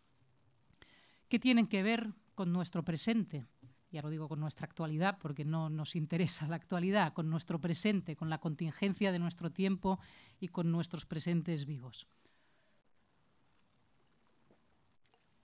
Con esto entro en el segundo y último uh, recorrido que, que, os quería proponer, saltar a nuestro inmediato presente. ¿Qué tienen que ver estos elementos? Están ahí, ¿no? en, esa, en, esa, en esa relación que tenemos hoy con, con nuestro presente más inmediato, con estos modos silenciosos casi que tenemos de protestar, Es evidente, decía antes, cuando nos situaba en el momento en que esta exposición ha llegado a Barcelona, Es evidente que la expresión o las expresiones de protesta hoy, las expresiones realmente que impugnan la realidad, han implosionado y que, como decía antes, el grito se ha hecho más bien silencio. Quizá porque más que grito, a lo que hay hoy es un silencio que hace daño. No hay asco. Antes os leía esa frase de, del dinero gratis, ¿no? un grito de asco contra la miseria cotidiana. No hay asco hay más bien una indiferencia inquietante o una inquietud atemorida, ¿no? de algún modo, y no hay afirmación de otras posibilidades de vida, sino un replegamiento cada vez más calculador y oportunista a las posibilidades pocas que esta sociedad parece ofrecer en un planeta que además uh, muestra síntomas de agotamiento y de consumirse. Como decía al principio, haciendo un poco de, de caricatura de en qué se han convertido nuestros movimientos críticos, decía que la indignación hoy se resuelve en participación política, que el anticapitalismo se ha vuelto responsable, colaborativo, legalista, que la gente más radical y más crítica nos hemos, somos gente educada, amable, dialogante y presentable. En, esta, eh, en esto, que es un poco el aire de nuestros tiempos, y en los que además domina y cada vez más una sensibilidad también en los espacios de crítica, de activismo ¿no? y, de y, de, y, de, y, de, inquietud en lo social que rechazan la violencia y toda expresión crítica que violente y nos violente, ahí podemos encontrar algunos de estos elementos que, um, que con los que hemos caracterizado ¿no? el espíritu punk o este, esta protesta radical que nace con el sistema de la cultura? Parecería que no. Parecería que frases como las que hemos leído en los autores uh, que he citado anteriormente o expresiones como las que se pueden encontrar en, en la exposición de arriba no tienen nada que ver con las expresiones de la del pensamiento crítico y de la creación críticas actuales. Pero yo creo que si le das, damos una vuelta, que si no nos quedamos en las formas ni en los diseños, ni en, los acabados, por, de, por decirlo así, de las formas como hoy estamos haciendo y continuamos haciendo crítica radical, sí que encontraremos rastros invisibles y seguramente invertidos, por lo menos, de estos tres elementos. Y mostrando esto, terminaré para dejar abierta la posibilidad de vernos casi como en un espejo invertido, ¿no? como una especie de, de, de, de de reflejo inverso en estas expresiones que parecen estar hoy tan alejadas de lo que fue la protesta radical que nació con la modernidad y quizá acabó con el punk. Hablaba en primer lugar del cuerpo, ¿no? de ese cuerpo que desmiente con su, con, su, con su presencia los valores del sistema de la cultura. Si seguimos hoy un poco desde dónde se está escribiendo crítica, crítica radical, crítica anticapitalista, crítica, que realmente ponga en cuestión los fundamentos y los valores de nuestra sociedad actual, ¿no? de, esa, movilización global en la que estamos todos uh, insertados, veréis, veremos que el cuerpo es hoy el punto de partida de toda crítica. Vayamos a la economía feminista, a, los planteamientos de género, a, la, a la economía social, a la relación con la vivienda, con los barrios. Hablemos desde donde hablemos, hablemos de luchas, hablemos de expresiones y hablemos de pensamiento. Fijaos que el cuerpo se ha convertido no en el objeto del discurso, sino en el lugar desde donde se habla, en el punto de partida de toda crítica radical hoy. Y no es cualquier cuerpo, ya no es el cuerpo potente, ya no es el cuerpo joven, épico del militante ¿no? o, del, o del guerrillero o del revolucionario de otros tiempos, es el cuerpo afectado. El cuerpo afectado es quizá el gran argumento del pensamiento crítico de nuestro tiempo. Un cuerpo que uh, nos invita a entendernos como sujetos encarnados y que reivindica su fragilidad, como las mujeres que se desnudan, ¿no? reivindica su fragilidad, su vulnerabilidad y la necesidad de luchar cuidándose, de luchar en, en, una, en, una, en una relación que le permita no solo conquistar la libertad, sino hacer vivible esa vida que se ha vuelto insoportable. Ese cuerpo nuestro hoy, ese cuerpo afectado, frágil, vulnerable, necesitado, quiere exponerse y muestra también la, falsedad de las formas de vida que nos proponen y nos imponen. Pero la experiencia que hace de sus límites yo diría que es inversa a la del punk, porque es un cuerpo que, mostrando su protesta, lo que muestra es la destrucción del mundo y lo que anhela, lo que comparte, es la necesidad, y ahí vuelvo sobre la palabra necesidad, de cuidarse y de encontrar los elementos para hacer juntos, para elaborar y tejer juntos una vida vivible. Es decir, que los límites del cuerpo, la manera como el cuerpo impugna los valores y las representaciones de nuestro mundo, no es poniéndose él mismo al límite, sino mostrando los límites de nuestro mundo, de nuestro planeta, de nuestras formas de vida, de nuestra sociedad, de nuestras formas de consumo. Los límites están ahí y esos límites son los que nos ponen al límite. Por lo tanto, mostrar la fragilidad invierte ¿no? respecto a los movimientos como el punk en la posición y lo que hace es abrir un espacio para el cuidado, que parecería lo más alejado del posible del punk, pero que está haciendo lo mismo, usar el cuerpo para mostrar los límites de nuestro mundo. En segundo lugar, la necesidad. Ya he estado hablando de ella, esa fuerza de la necesidad. Fijaos que todos los movimientos colectivos que hoy realmente movilizan a gente, y movilizan de verdad a gente, no solo se citan en ciertos entornos, sino que hacen que gente concreta se sa salga de sus casas y se mueva, como por ejemplo ha sido la PA y sigue siendo la PA, la plataforma de afectados por la hipoteca, como están siendo en estos meses los miles de gente que se desplaza a lugares insospechados del Mediterráneo a rescatar gente sin más, sabiendo que no se va a arreglar nada, pero que cuerpo a cuerpo se salvan vidas, y así tantos otros movimientos que tienen que ver con el alimento, que tienen que ver con el techo, que tienen que ver con, continuamente con, la, con, con, con cuestiones ambientales. Es decir, eso que realmente nos mueve no es lo posible, no es un proyecto de futuro, no es la construcción de una sociedad mejor. Cuando alguien nos cuenta esas cosas, no sabemos qué hacer, nos quedamos como... Y en cambio, nos mueve la necesidad. En estos momentos hay una percepción clara de que hay una relación con, con el cuerpo y con la necesidad que es la que nos mueve. Y finalmente, el futuro. Si decimos que no, que no nos mueven los posibles, sino la necesidad, es obvio que el sentido del futuro no ha vuelto entre nosotros. Ni siquiera con el 15M. ¿no? El 15M puso una fecha en el calendario, rompió el tiempo al que estábamos uh, sometidos poniendo una fecha que rompía el, calendar, el calendario, que rompía el tiempo, pero no proyectaba un futuro a partir de él. Lo que hizo el 15M sobre todo es resignificar el pasado, empezar a leer de otra manera nuestra historia. La española, transición, etcétera, pero también la de un capitalismo que había dado sobre todo a las generaciones más jóvenes unas un, unos digamos unas expectativas y unas ideas acerca de lo que era una vida normal y que de pronto desde ahí, desde esa plaza, desde esas plazas podían empezar a ser revisados. ¿Qué nos ha llevado hasta aquí? ¿Qué nos han contado?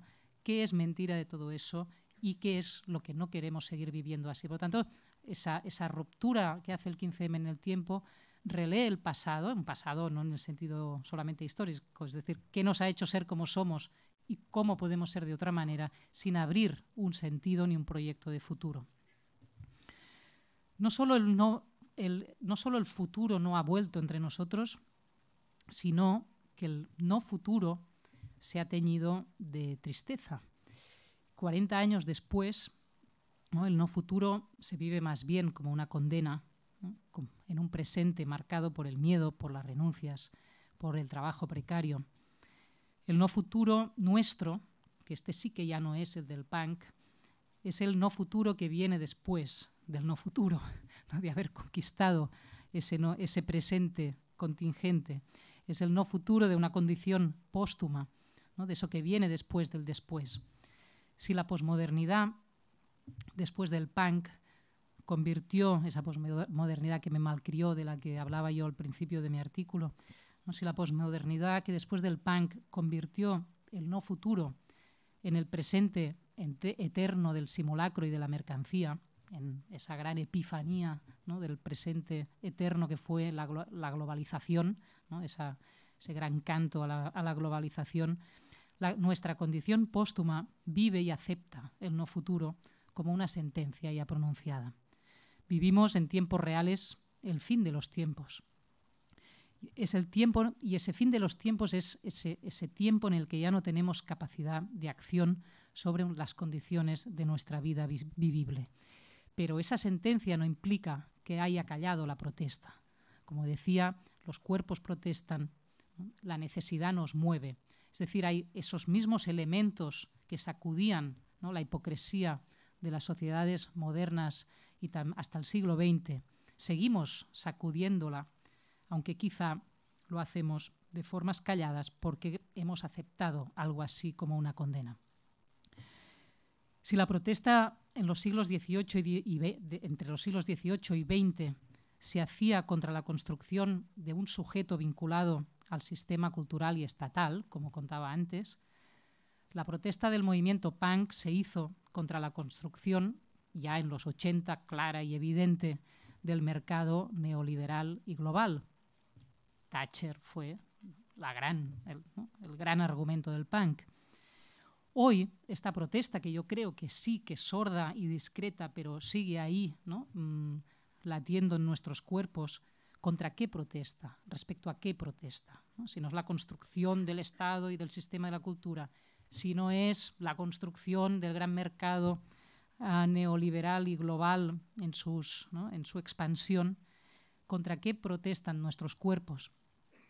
Protestan contra un capitalismo ya desbocado, no es un capitalismo que construya mundo, sino que es un capitalismo que destruye mundo. Y eso no es una metáfora, sabemos que es así materialmente, en todos los ámbitos de la vida natural, de las sociedades, de las culturas y, y del planeta en general un, capitalismo convertido en una máquina de destrucción ya no creativa. Hay unos talleres muy bonitos aquí para niños asociados a la, a la, exposición que se titulan La destrucción creativa. Aún, aún tendrían que poner, porque hoy el capitalismo, ¿no? retomando esta frase de Marx, ya no se dedica a la construcción creativa, es, es destrucción destructiva y contra la destrucción destructiva es contra lo que protestan nuestros cuerpos, con lo cual tienen realmente algo muy difícil enfrente. y de ahí creo que se deriva la ambivalencia de nuestras formas de expresión crítica hoy. Desde el cuerpo sin proyecto y sin futuro se expresan formas cuidadosas, constructivas y articuladoras de mundo en este mundo que se destruye, de tejidos y de vida vivible en, esta, en esta realidad que se descompone. Por lo tanto, no es que nos hayamos vuelto solamente colaborativos, es que el mundo destruye aquello que intentamos y uh, deseamos vivir.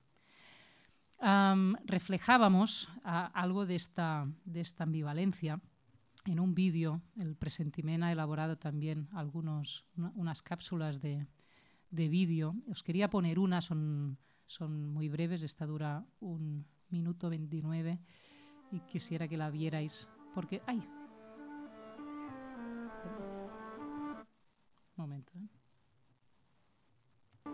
Porque ahí creo que se expresa muy bien esta ambivalencia. Este es el último que hemos sacado.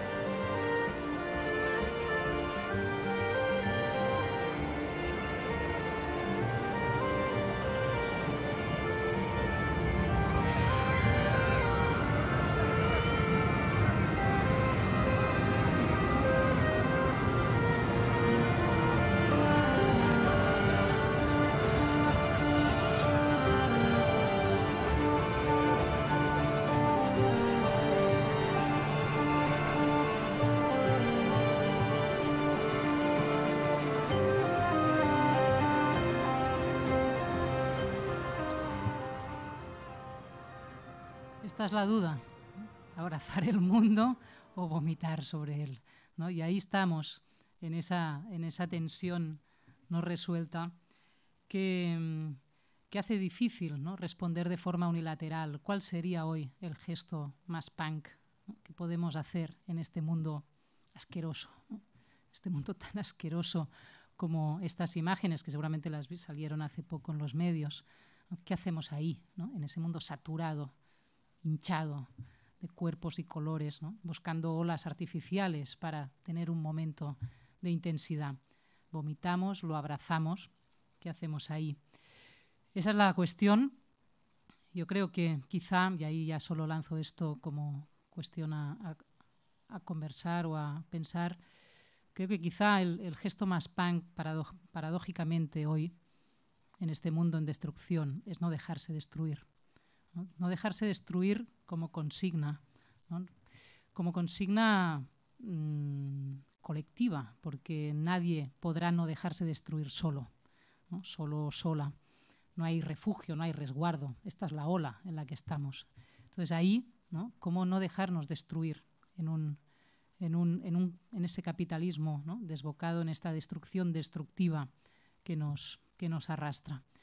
Ese es el reto, creo, que estos cuerpos que protestan aún hoy, aunque sea bajo formas amables, están y estamos uh, planteando. En el... Uh, quería dejar puesto un, un último presentiment. Estuvimos mucho tiempo intentando hacer un presentiment sobre la violencia y creo que es uno de los temas importantes del punk. Y finalmente, después de hacer mil cosas, quedó esta última, esta única, esta, destilada, esta frase. Nuestra violencia es existir. Nuestra violencia es existir, creo que es algo que abre hoy un lugar desde donde repensarnos. Decía Nietzsche que solo que conviene enfadarse seriamente alguna vez para que las cosas mejoren. ¿Cómo enfadarnos nosotros? ¿no? Sin que la destrucción caiga sobre cada uno de, nuestros cuerpos, sin acabar en manos de los antidepresivos o de la represión totalmente individualizada, como está pasando a tanta gente que se enfada. ¿no? Unos acaban enfermos, otros acaban con multas, o juicios o tantas otras formas de represión creciente en nuestro entorno más cercano. ¿Cómo enfadarnos hoy seriamente y cómo no dejarnos destruir? Creo que son las cuestiones que nos deja abierta esta, esta, esta, este mundo de la protesta, que no es el de una historia ni el de una tradición, sino realmente el de una alianza en la que aún hay muchas cosas por abrir y plantear. Gracias.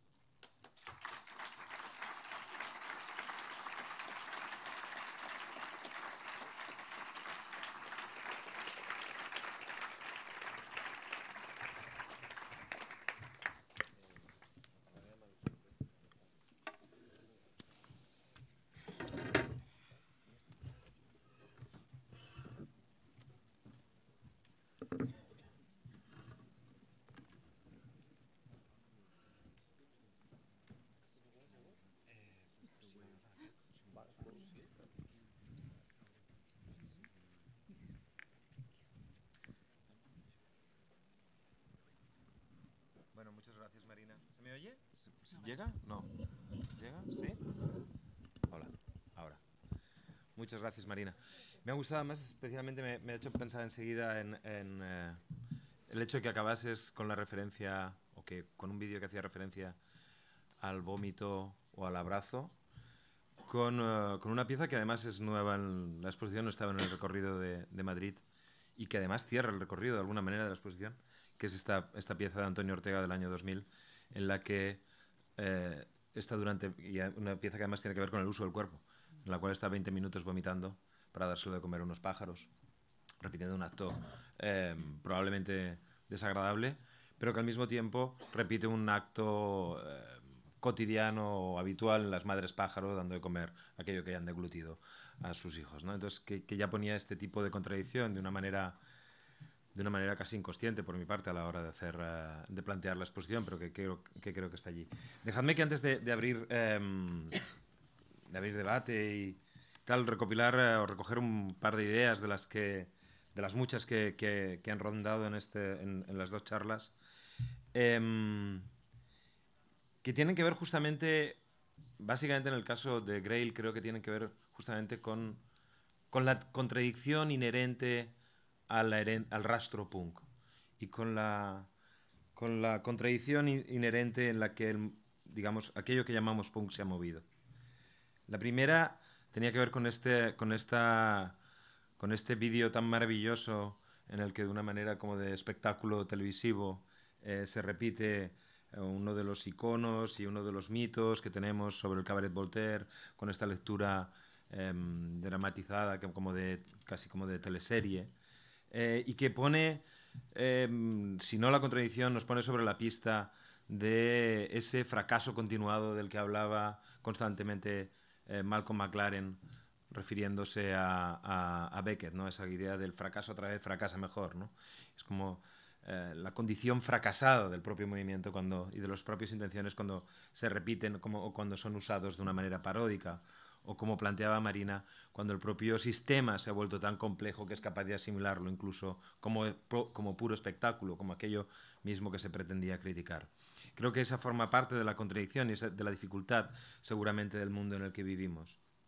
Eh, al mismo tiempo, Grail obviamente ha desvelado eh, uno de los métodos eh, paracientíficos, a lo mejor habría que decir, eh, el, que a mí más me, impresionaban de su libro y que seguramente también, que, y que también de alguna manera he intentado recoger en el libro, y es ser poco fieles a una enseñanza histórica, poco fieles a, a, una, a, un, a la búsqueda de una serie de lógicas argumentales eh, pericletadas en, eh, eh, en, fórmulas muy académicas.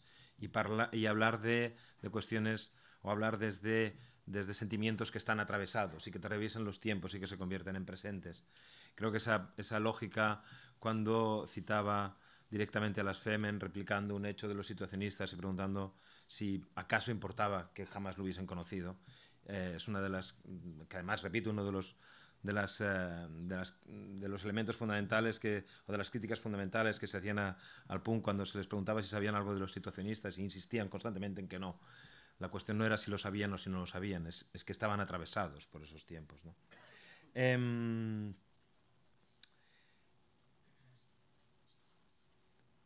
Marina ha señalado mucho esta cuestión de la que podríamos resumir de alguna manera, no, no querría equivocarme, con eh, cómo convivir con el deseo de ser radical y cómo, cómo poder convivir con, con, esa incomodidad, ¿no? con, con aquello. Me, recordaba mucho eh, el famoso, la famosa conferencia que, circula por, por, eh, por, YouTube de Lacan, que, que, que, está en diferentes trozos, y que hay un momento en el que Lacan, de manera muy esperpéntica y de manera muy, muy enfática y muy señalada, pregunta esto de cómo podemos soportar la vida. ¿no? Em, y que quizás de alguna manera nos preguntamos tanto, ¿no? ¿Cómo, ¿Cómo, podemos soportar la vida? Y que al final hemos llegado como a esta, como esta especie de, de reunión de contrarios en la que gente como Sisek habla de esta cosa de ser como honestamente cínicos, ¿no? Con ser eh, un poco cínicos para poder sobrevivir, pero intentar ser un tanto honestos con nuestras maneras de vivir. Eh, y que eh, tenía que ver con, eh, con cómo poder revisitar desde ese fracaso constante, ¿no? desde, ese, desde esa idea de el fracaso otra vez fracasa de nuevo, ¿no? Eh, fracasa, fracasa mejor. Eh, esa condición que has insistido mucho en la idea de la, de la crisis de la modernidad, que eh, quizás de manera un tanto académica o escolástica se insiste en que sucede en un momento determinado. Y yo durante muchas ocasiones en la exposición me he encargado, he intentado explicar que, que la crisis de la modernidad es un, es un, fenómeno que se va repitiendo cíclicamente, que se va repitiendo constantemente como, como parodias diferentes, que casi es eh, el movimiento hippie, es como una parodia de un intento de modernidad edulcorada y de convivencia y que, eh, y que el, punk es, es una vez más fruto de ese fracaso, de ese fracaso constante.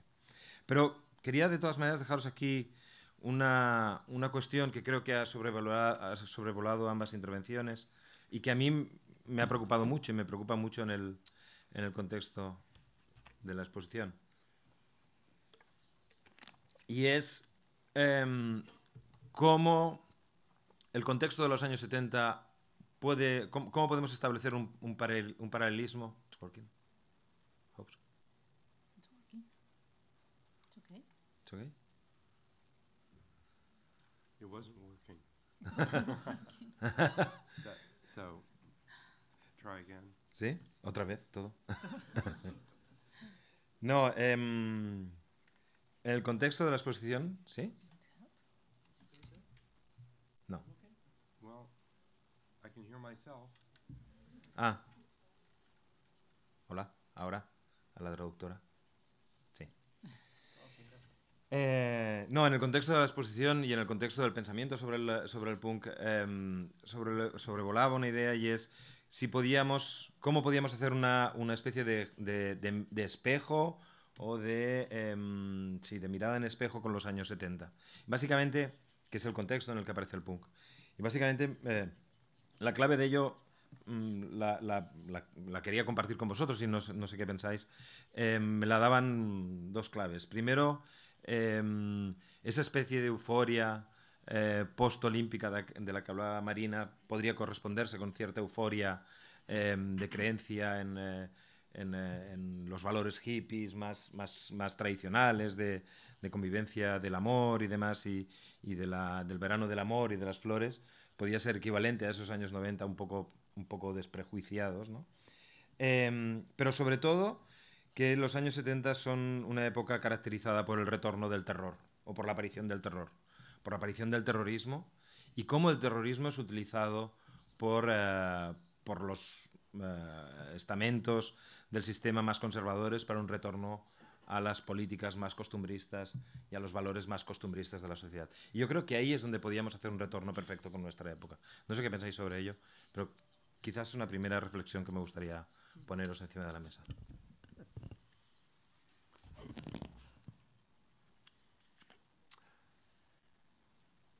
I don't know. Um, when you talk about terrorism and punk, I think of uh, Olivier Assayas's um, television film about Carlos the Jackal.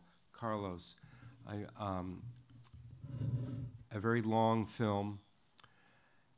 And when he uh, tried to figure out how to score this movie, and it's about terrorist activities in the 60s and 70s, early 70s in particular, um, he, he thought the only way to do this was with severe, elegant, classical, traditional movie music.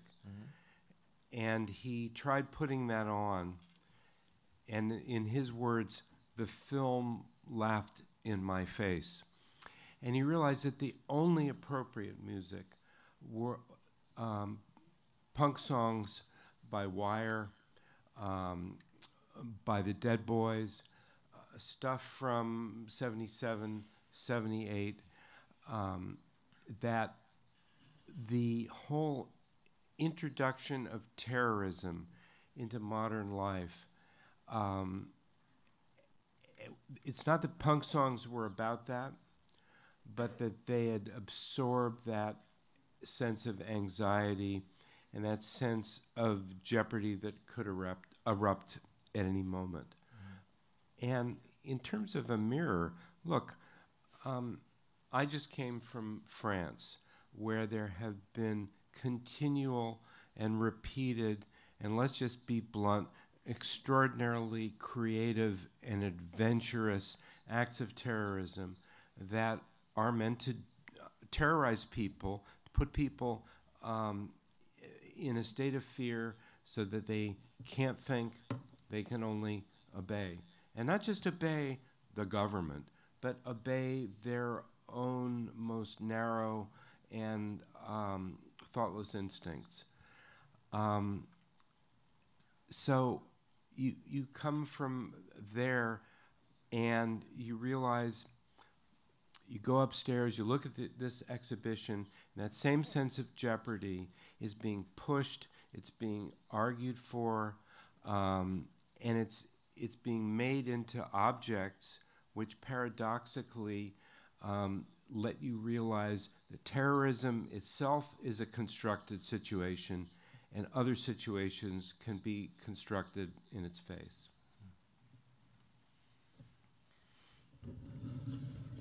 Sí, en, en, en, la misma línea diría que quizá en el, en el caso, la experiencia europea y desde una ciudad como Barcelona, en donde la historia uh, es tan corta y tan...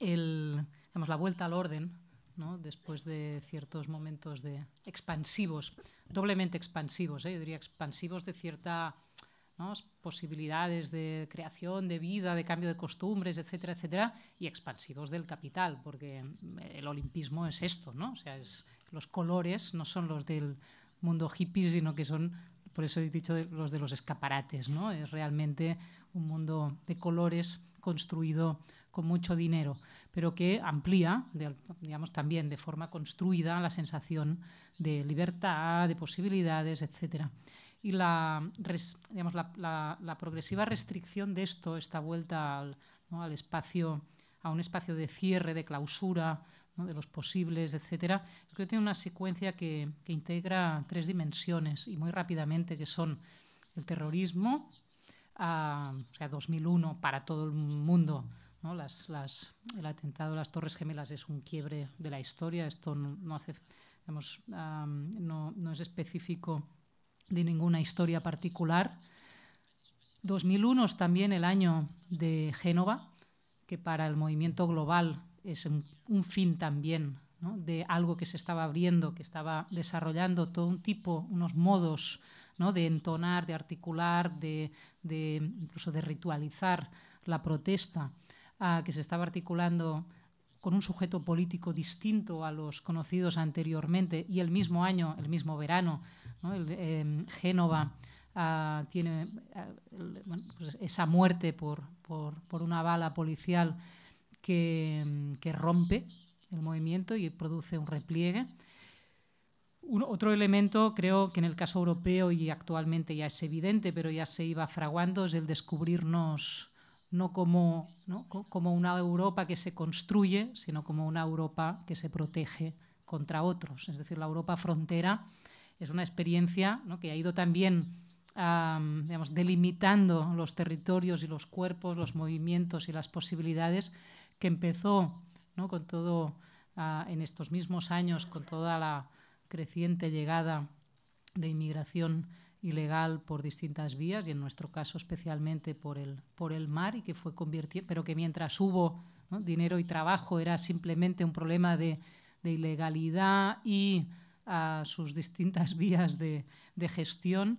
Actualmente, ¿no? con una Europa en crisis y con una guerra que también es nuestra, pero está fuera de nuestro territorio, la Europa frontera se ha clavado en, nuestros, territorios.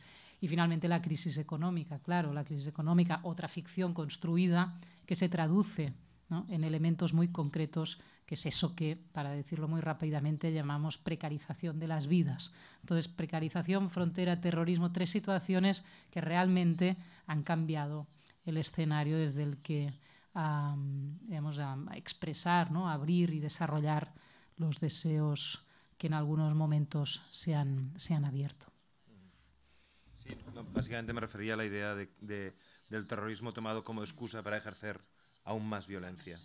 Eh, eso por un lado. Por otro lado, la, la, otra reflexión que quería compartir con vosotros, quizás porque es una de las cosas que he venido insistiendo mucho últimamente, es que eh, efectivamente eh, tendemos a hacer esta, em, esta, esta historia atravesada, que no es exactamente una historia, sino que es como, como una historia de afinidades en la cual participan situacionismo, participa Dada, participan Probos, participan muchos, muchos movimientos, pero en la que creo que el, la principal diferencia y por, lo cual, y por la cual hablamos de punk de una manera genérica es que, a diferencia, insisto, de situacionismo o dadaísmo, el punk aparece en medio de una industria cultural propia de la sociedad de masas, de la cultura de masas. Es decir, aparece en medio de la, de la industria musical y eso le da un eco y una, y una, y una visibilidad que no, tienen, eh, que, no, que no consiguen situacionistas ni dadaístas. Creo que esa es la, la principal diferencia. En el caso de, de, la exposición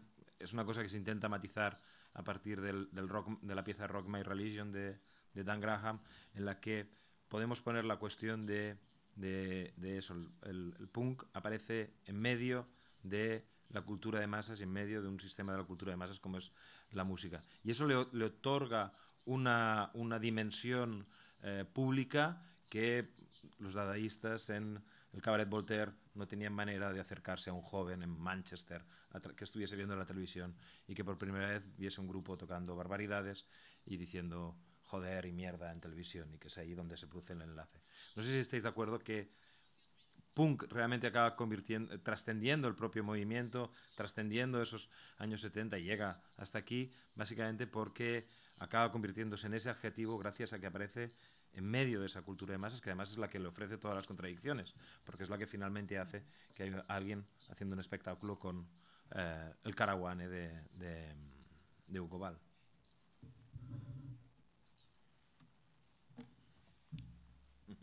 You know, I, I, just think of two books that have been published in the last couple of years.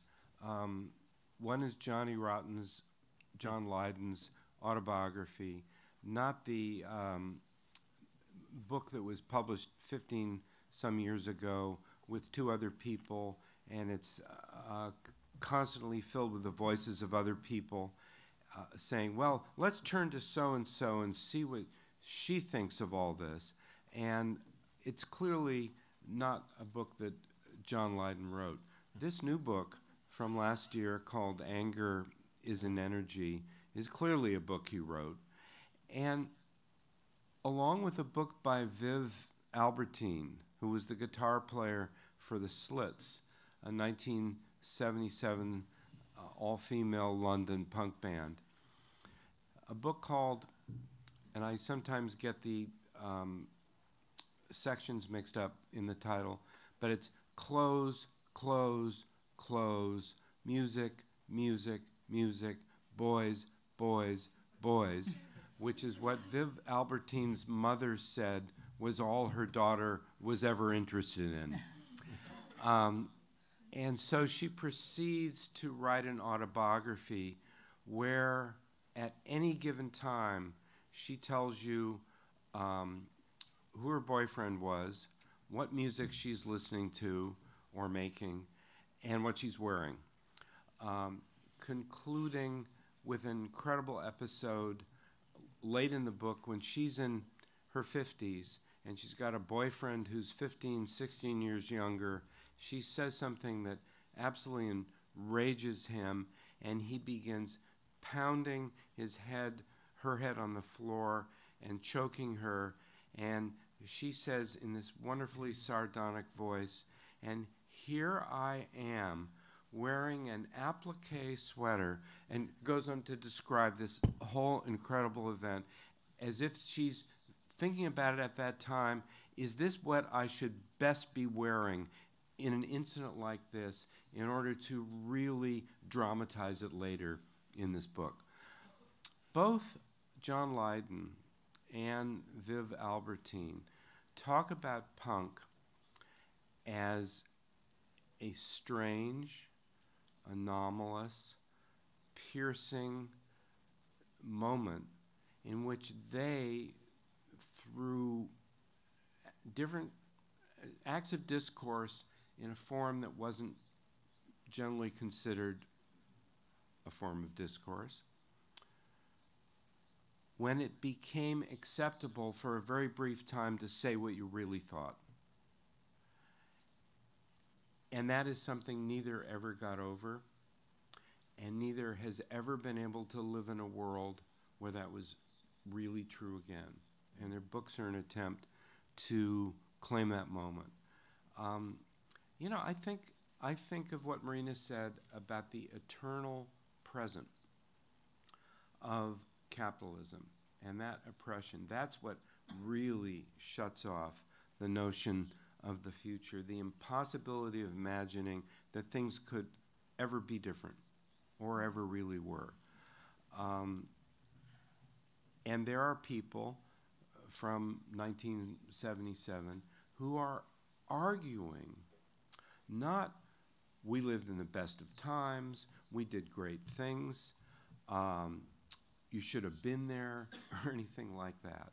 Um, they're saying moments that make a breach in history and where people step out of history and say what they actually think, and other people can actually hear them, that can happen.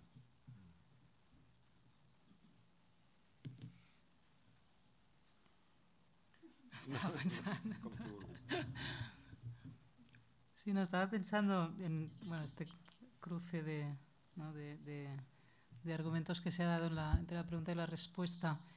Estaba la, la, sociedad de masas por un lado y después esta quizá apelación final a quién puede escuchar qué de aquello que nos decimos. Decimos, da igual cómo, ¿eh? cantando, gritando, pintando o, o susurrando, ¿no? Pero ¿dónde, está el, dónde están los lugares, o sea, cuáles son los lugares desde donde, se, desde donde nacen ciertas voces y palabras y en un momento dado y dónde están quienes pueden escucharlas?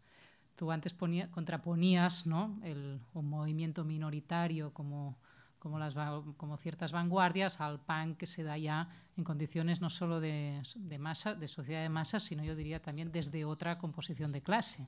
¿no? Los, sale de otro lugar de la sociedad uh, y tiene otros canales de difusión.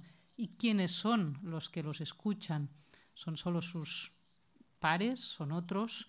Y ahí también deberías, deberíamos hacer más, ¿no? quizá una, una una cartografía no tanto de los autores y los pensadores y los grupos y los productores, sino de, sino de los receptores en cada momento de aquello que se puede escuchar y lo que no, porque de cosas se dicen siempre, cuándo llegan y por qué y en qué modos, cuando se rompe el sentido. ¿no? Nosotros en, en España en Blanca hablamos mucho, usamos mucho esta expresión ¿no? de interrumpir el sentido del mundo. Solo cuando se interrumpe el sentido del mundo, sea la historia en, una, en un periodo, sea el presente eterno ¿no? del capitalismo global en nuestra época, sea ahora ya quizá estamos en otro sentido del mundo, que es esa, esa aceptación de su final en términos de lo que hemos entendido por un mundo vivible hasta hoy, incluso la extinción de la especie humana ya como, ¿no? como algo que está en nuestro imaginario ¿no? ya ahí, como si pudiéramos uh, convivir con eso. ¿no? eso. Esos sentidos del mundo que se van imponiendo, quizás solo ¿no? se pueden escuchar otras cosas, no por el hecho de decirlas o de cantarlas o de enunciarlas, sino interrumpiendo ese sentido, ¿no? rompiendo la historia, rompiendo el, presente eterno de la, de la, globalización, hoy interpelando, ¿no? agrietando esa condena ¿no? del fin de los tiempos. Y ahí es quizá donde está, y entonces en cada tiempo, de qué canales y desde qué lugares y desde qué voces eso ocurre. Y dónde está pasando hoy, por ejemplo, ¿no? que desde dónde se están abriendo esas grietas. Uh, y entonces eso yo creo que abre una, una posibilidad de, también de, ¿no? de, buscar los elementos no solo, no, solo, no solo a través de las, de las obras y de los discursos, sino realmente de las situaciones, ¿no? retomando también lo que los situacionistas nos enseñaron a, a percibir, que no es, tanto important, no es tan importante que dices, sino la, la situación que se construye con aquello que dices o que dejas de decir. ¿no? que callas o que, o que enuncias. Y ahora estamos en un momento en que esto no, no tiene, tenemos un mapa muy borroso realmente, ¿no? de cuáles son los lugares, las situaciones, las voces y los tiempos en los que nos podemos decir las cosas que importan, que quiere decir aquellas que realmente en vez de res, resbalar sobre el sentido del mundo pueden interrumpirlo. Incluso qué interlocutores tienes, ¿no? ¿Qué, qué, ¿Quiénes son las escuchas? hablando de escuchas, no sé si tenéis alguna pregunta, creo que estaría muy bien poder. Pero ahí hay un chico, creo que hay un micro que circula por ahí.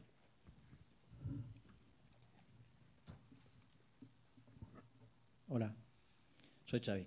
Eh, me parece a mí excelente empezar este seminario. Me ha gustado mucho la idea de empezar un seminario de punk sobre, eh, hablando sobre terrorismo. Eh, dejando de lado lo que habéis dicho del, del atentado de las Torres Gemelas, que solo aceptaría la postura de que fue un cambio global desde un punto de vista occidental, porque si te vas a África o a Irak, mes a mes eh, hay los mismos atentados, o incluso triplicados, el del 11M y el 11S juntos, pero bueno.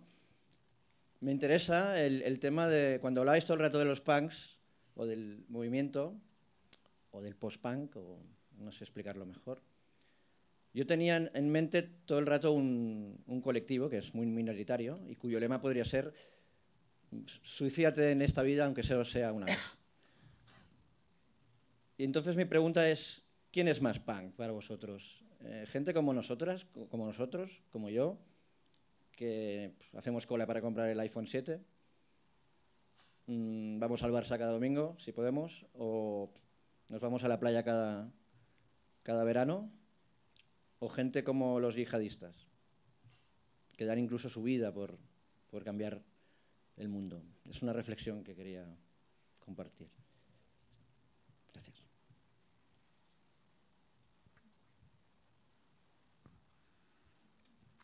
Think it's a false question. and I think that people, jihadists, don't kill themselves to save the world. They kill themselves to deny this world and go to paradise.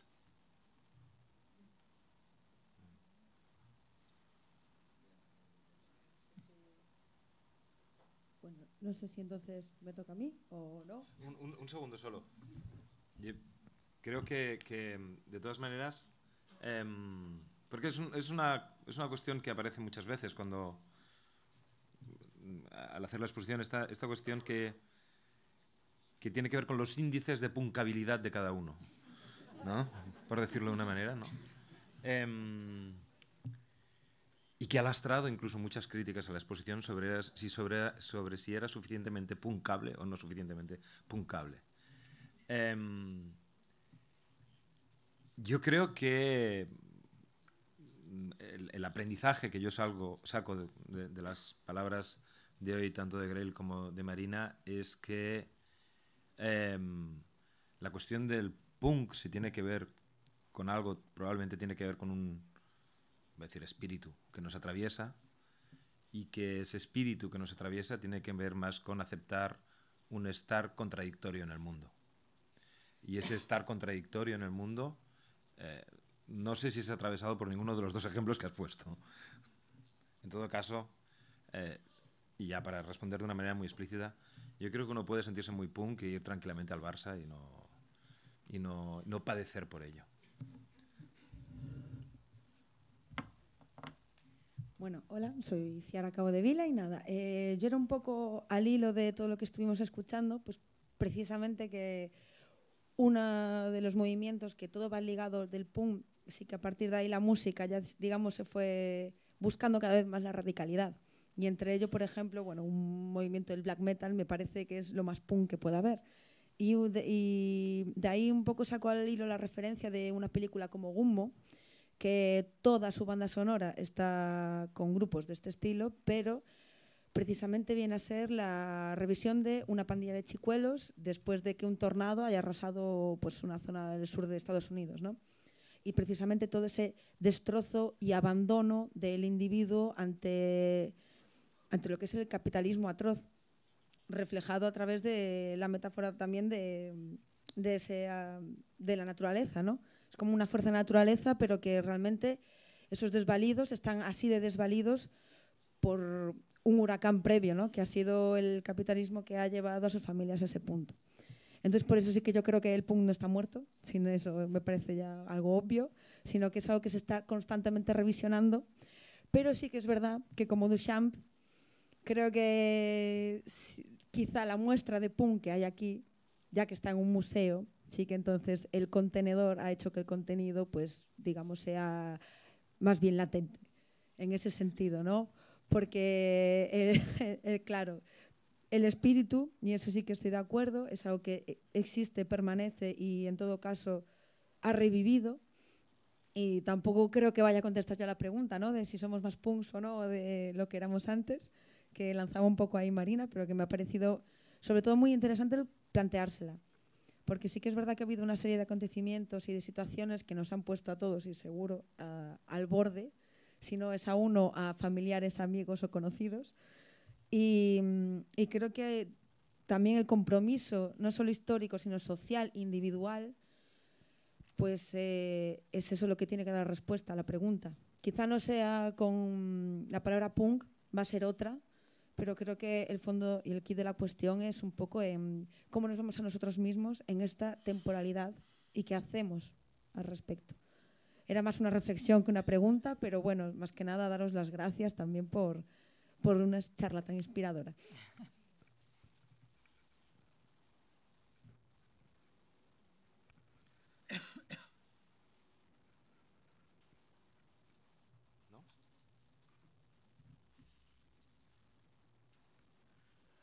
Um, I'm going to speak in English, actually, directly to Gray, because I want this to be understood. Um, I know the translation can be a little off sometimes, but um, uh, that's not a criticism, that's just observation. Um, we're talking a lot about uh, many different aspects of punk, and I, you know, only came to this exhibition and, and to the seminar uh, with preconceived notions, and that's it regarding punk. And what the exhibition has done, and what this seminar has done, is given me a very beautiful, not even romanticized, but very beautiful vision of what punk can be. Um, and I guess the question is is that just your point of view? Is that just something that you've put on it? Is that kind of an idealization or romanticization of what punk is? Because um, we talk about situationalists, we talk about De Boer, who has this beautiful, beautiful ideology. But is that just reading into it? I guess is the question. You know, I think reading into um, an object, a situation, a history, a story, um, bringing in elements that don't seem to be there and that uh, maybe appear not to belong, uh, that come from you know com- completely different language, a different a different cultural perspective. Reading into something to me is reading. Um, you don't ever let something simply lay there and be inert. You bring it to life with your own sense of metaphor, your own sense of um, altering something as you think about it, as you read it. So no, I, I, I mean yes, you're reading into it, but but I think that is simply thinking, if that makes sense.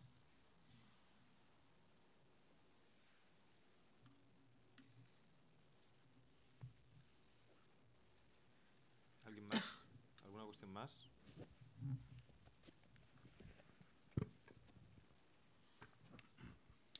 Hola, uh, s'ha parlat de fracàs, de molts fracassos, del, del fracàs del punk, del fracàs del moviment hippie.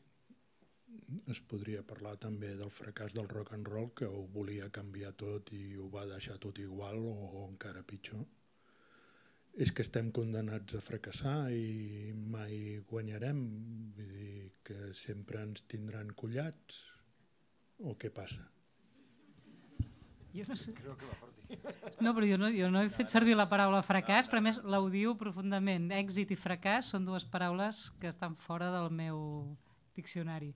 Una altra cosa són victòries i derrotes, és un altre territori, però èxits i fracassos jo crec que no no n'hem parlat, al revés, hem rastres, latències, eh, és a dir, un sentit d'allò que no acaba, no? d'allò inacabat, que no vol dir d'una història lineal, ni d'una permanència, ni d'una no? ni tradició, és a dir, tots hem evitat aquest tipus de, no? de com continua el punk o com continua la sinó al revés, on, on, on apareix que no s'espera, no? on, on, on hi romp allò que batega, no? que, que està viu malgrat el sentit del món, aquest que ens, no? que, que ens, que ens dona una imatge acabada de la realitat on som, vagi eh, neutralitzant-ho, vagi... Però això jo crec que al revés, jo crec que totes les, les perspectives que s'han obert avui aquí eren precisament... Telèfon. Um, de perseguir el rastre d'aquestes latències amb els ulls oberts, això sí, perquè no? si sense, si haguéssim vingut a fer eh, històries triomfalistes crec que serien tan falses com fer històries derrotistes. No? És la, la cartografia és la de victòries i derrotes que van a més canviant els desafiaments, els temps han canviat molt ràpid. Jo crec que hem re resseguit també alguns dels eixos que donen un, no? una, una pista important a l'hora d'entendre aquests canvis i el que és important és situar aleshores quins són els fronts de batalla de cada moment. No? I això és el que jo diria que és el que crec que hem fet. No? I per tant, acceptar la condemna és el sentit del nostre temps i és aquest el que hem d'interrompre i, no, i no acceptar d'aquesta manera.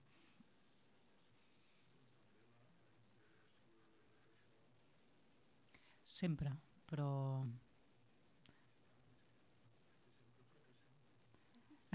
bueno.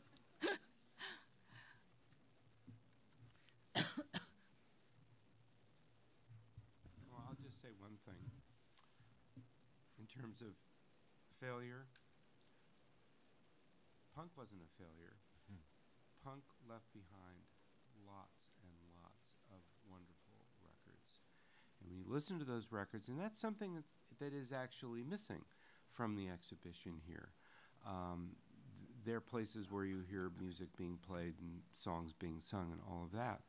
But th- there are no, um, you know, there are no rooms where, where you're just simply overwhelmed by somebody singing, somebody playing. Punk left behind all left behind all kinds of records that captured a moment when somebody or a group of people discovered their own voices, and what you're hearing is the absolute thrill of that discovery. And um, you know, to go back away from making art into life and go into making life into art. Um, th- those are as valuable and as precious and as inspiring moments as any art form has ever captured.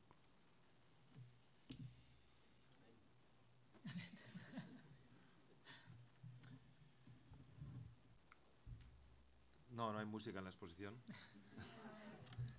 Tampoco hay crestas. Creo que no hay ninguna. Em, no sé si hay alguna pregunta más. Sí, por allí.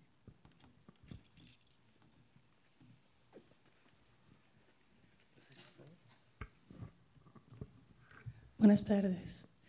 Em, bueno, he escuchado hablar tanto a los dos conferenciantes como al moderador de el espíritu del, del punk.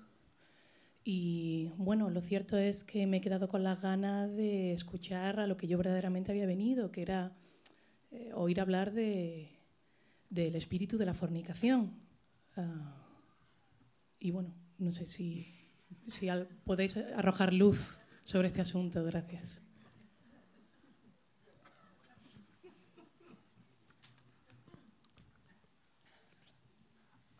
Okay, I missed the crucial word. No, it's not. A spirit of, Really, you missed it. yeah. what was the wo- spirit of? Fornication. That's what I thought you said. um, wow.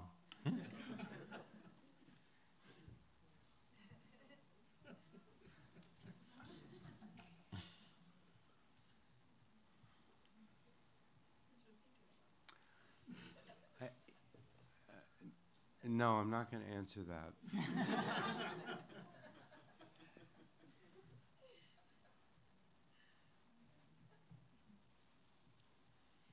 But there are other people here. I agree with you. Not because it's not a good question. It is a good question. Um, and there are certainly images in the exhibition that play with that. I think of a friend of mine in the middle of the Vietnam War when Lyndon Johnson, the President of the United States, was just the ultimate demon. And this friend said, You know, every time I have sex with my wife, I'm saying inside, Take that, Lyndon Johnson. as if as if this, you know, was his defiant protest in the deepest part of his being but it was also a fantasy that Lyndon Johnson was an asexual being who would somehow be offended by this when he would say, Man, you've been nowhere. Um, there is a sense of sex's affirmation which uh, obliterates all that's bad in the world for a moment and makes you supreme and makes the world not matter. But I think punk went away from that. That was its its its insistent and almost ideological refusal of romanticism and self-romanticism. Punk um, came forth in a spirit of abnegation, of of of, of people uh, presenting themselves as ruins, as worthless, uh, as as beneath contempt. I mean, when I was writing Lipstick Traces, I was just in the middle of a paragraph, and I wanted to talk about um, a 17 year old girl named Elizabeth Mitchell changing her name, giving herself a punk name, and it just popped into my head. Elizabeth Mitchell suddenly turns into Sally Thalidomide. And I don't know if there ever was a punk who called herself Sally uh, Thalidomide, but just imagine the sense of beginning your life from uh, horror, misshapenness, um, disability, and complete freakishness with a sense of utter pride. That's thinking. And the spirit of fornication, compared to that, is indulgent. So that's what I'd say.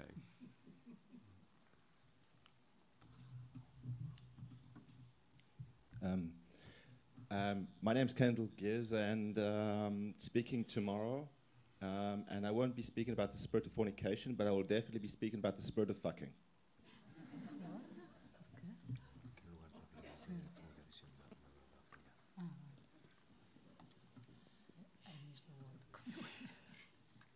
Sí, yo, yo, quería añadir una cosa a, a, a, lo que ha dicho Grail de, eh, del sentido en el que el punk no, ha sido un fracaso. A mí hay una cosa que me continúa impresionando, no impresionando, congratulando o, satisfaciendo y es eh, cada vez que hago una, visita guiada de la exposición, cada vez que doy una clase, cada vez que... Em, y los que damos clases lo vemos constantemente en, en, los alumnos, cada vez que pases por la calle, te das cuenta que de alguna manera, no sé si la palabra sería de triunfar, pero que el punk en todo caso no ha fracasado. Te das cuenta en la manera en cómo todos afrontamos nuestra, nuestro estar en el mundo, que finalmente es cómo nos expresamos a través de nuestra ropa, de nuestra manera de, de, de, de mostrarnos superficialmente, con eh, total libertad, o con, si no con total libertad, cómo, cómo la variedad ha ocupado la variedad de identidades sexuales, de identidades físicas y de, y de la capacidad que tenemos para expresarnos a través de ella, digamos que está a la orden del día. Eh, siempre, siempre pienso, siempre que, que estamos en, en, situaciones en las que hay un foro de, de, diferentes personas, pero también cuando caminas por la calle, pienso en muchas ocasiones en las fotos eh, documentalistas de los años 40 con uh, y aquellas primeras imágenes de Wall Street, eh, no sé si es en los años 20 así, con todo el mundo absolutamente uniformado, con absolutamente el mismo aspecto y absolutamente la misma ropa. Yo creo que eh, la diversidad con la que enfo enfocamos nuestra manera de presentarnos ante, ante, el mundo, en buena parte se lo debemos a, al punk, seguramente. Eh, y hablabas de que el punk no había muerto.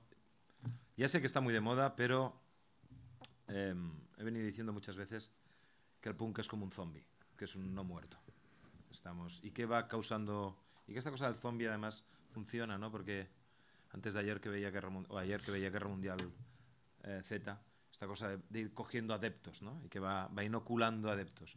Muchas veces cuando se considera a la institución y al museo como una especie de traidor que acaba de cavar la tumba del punk.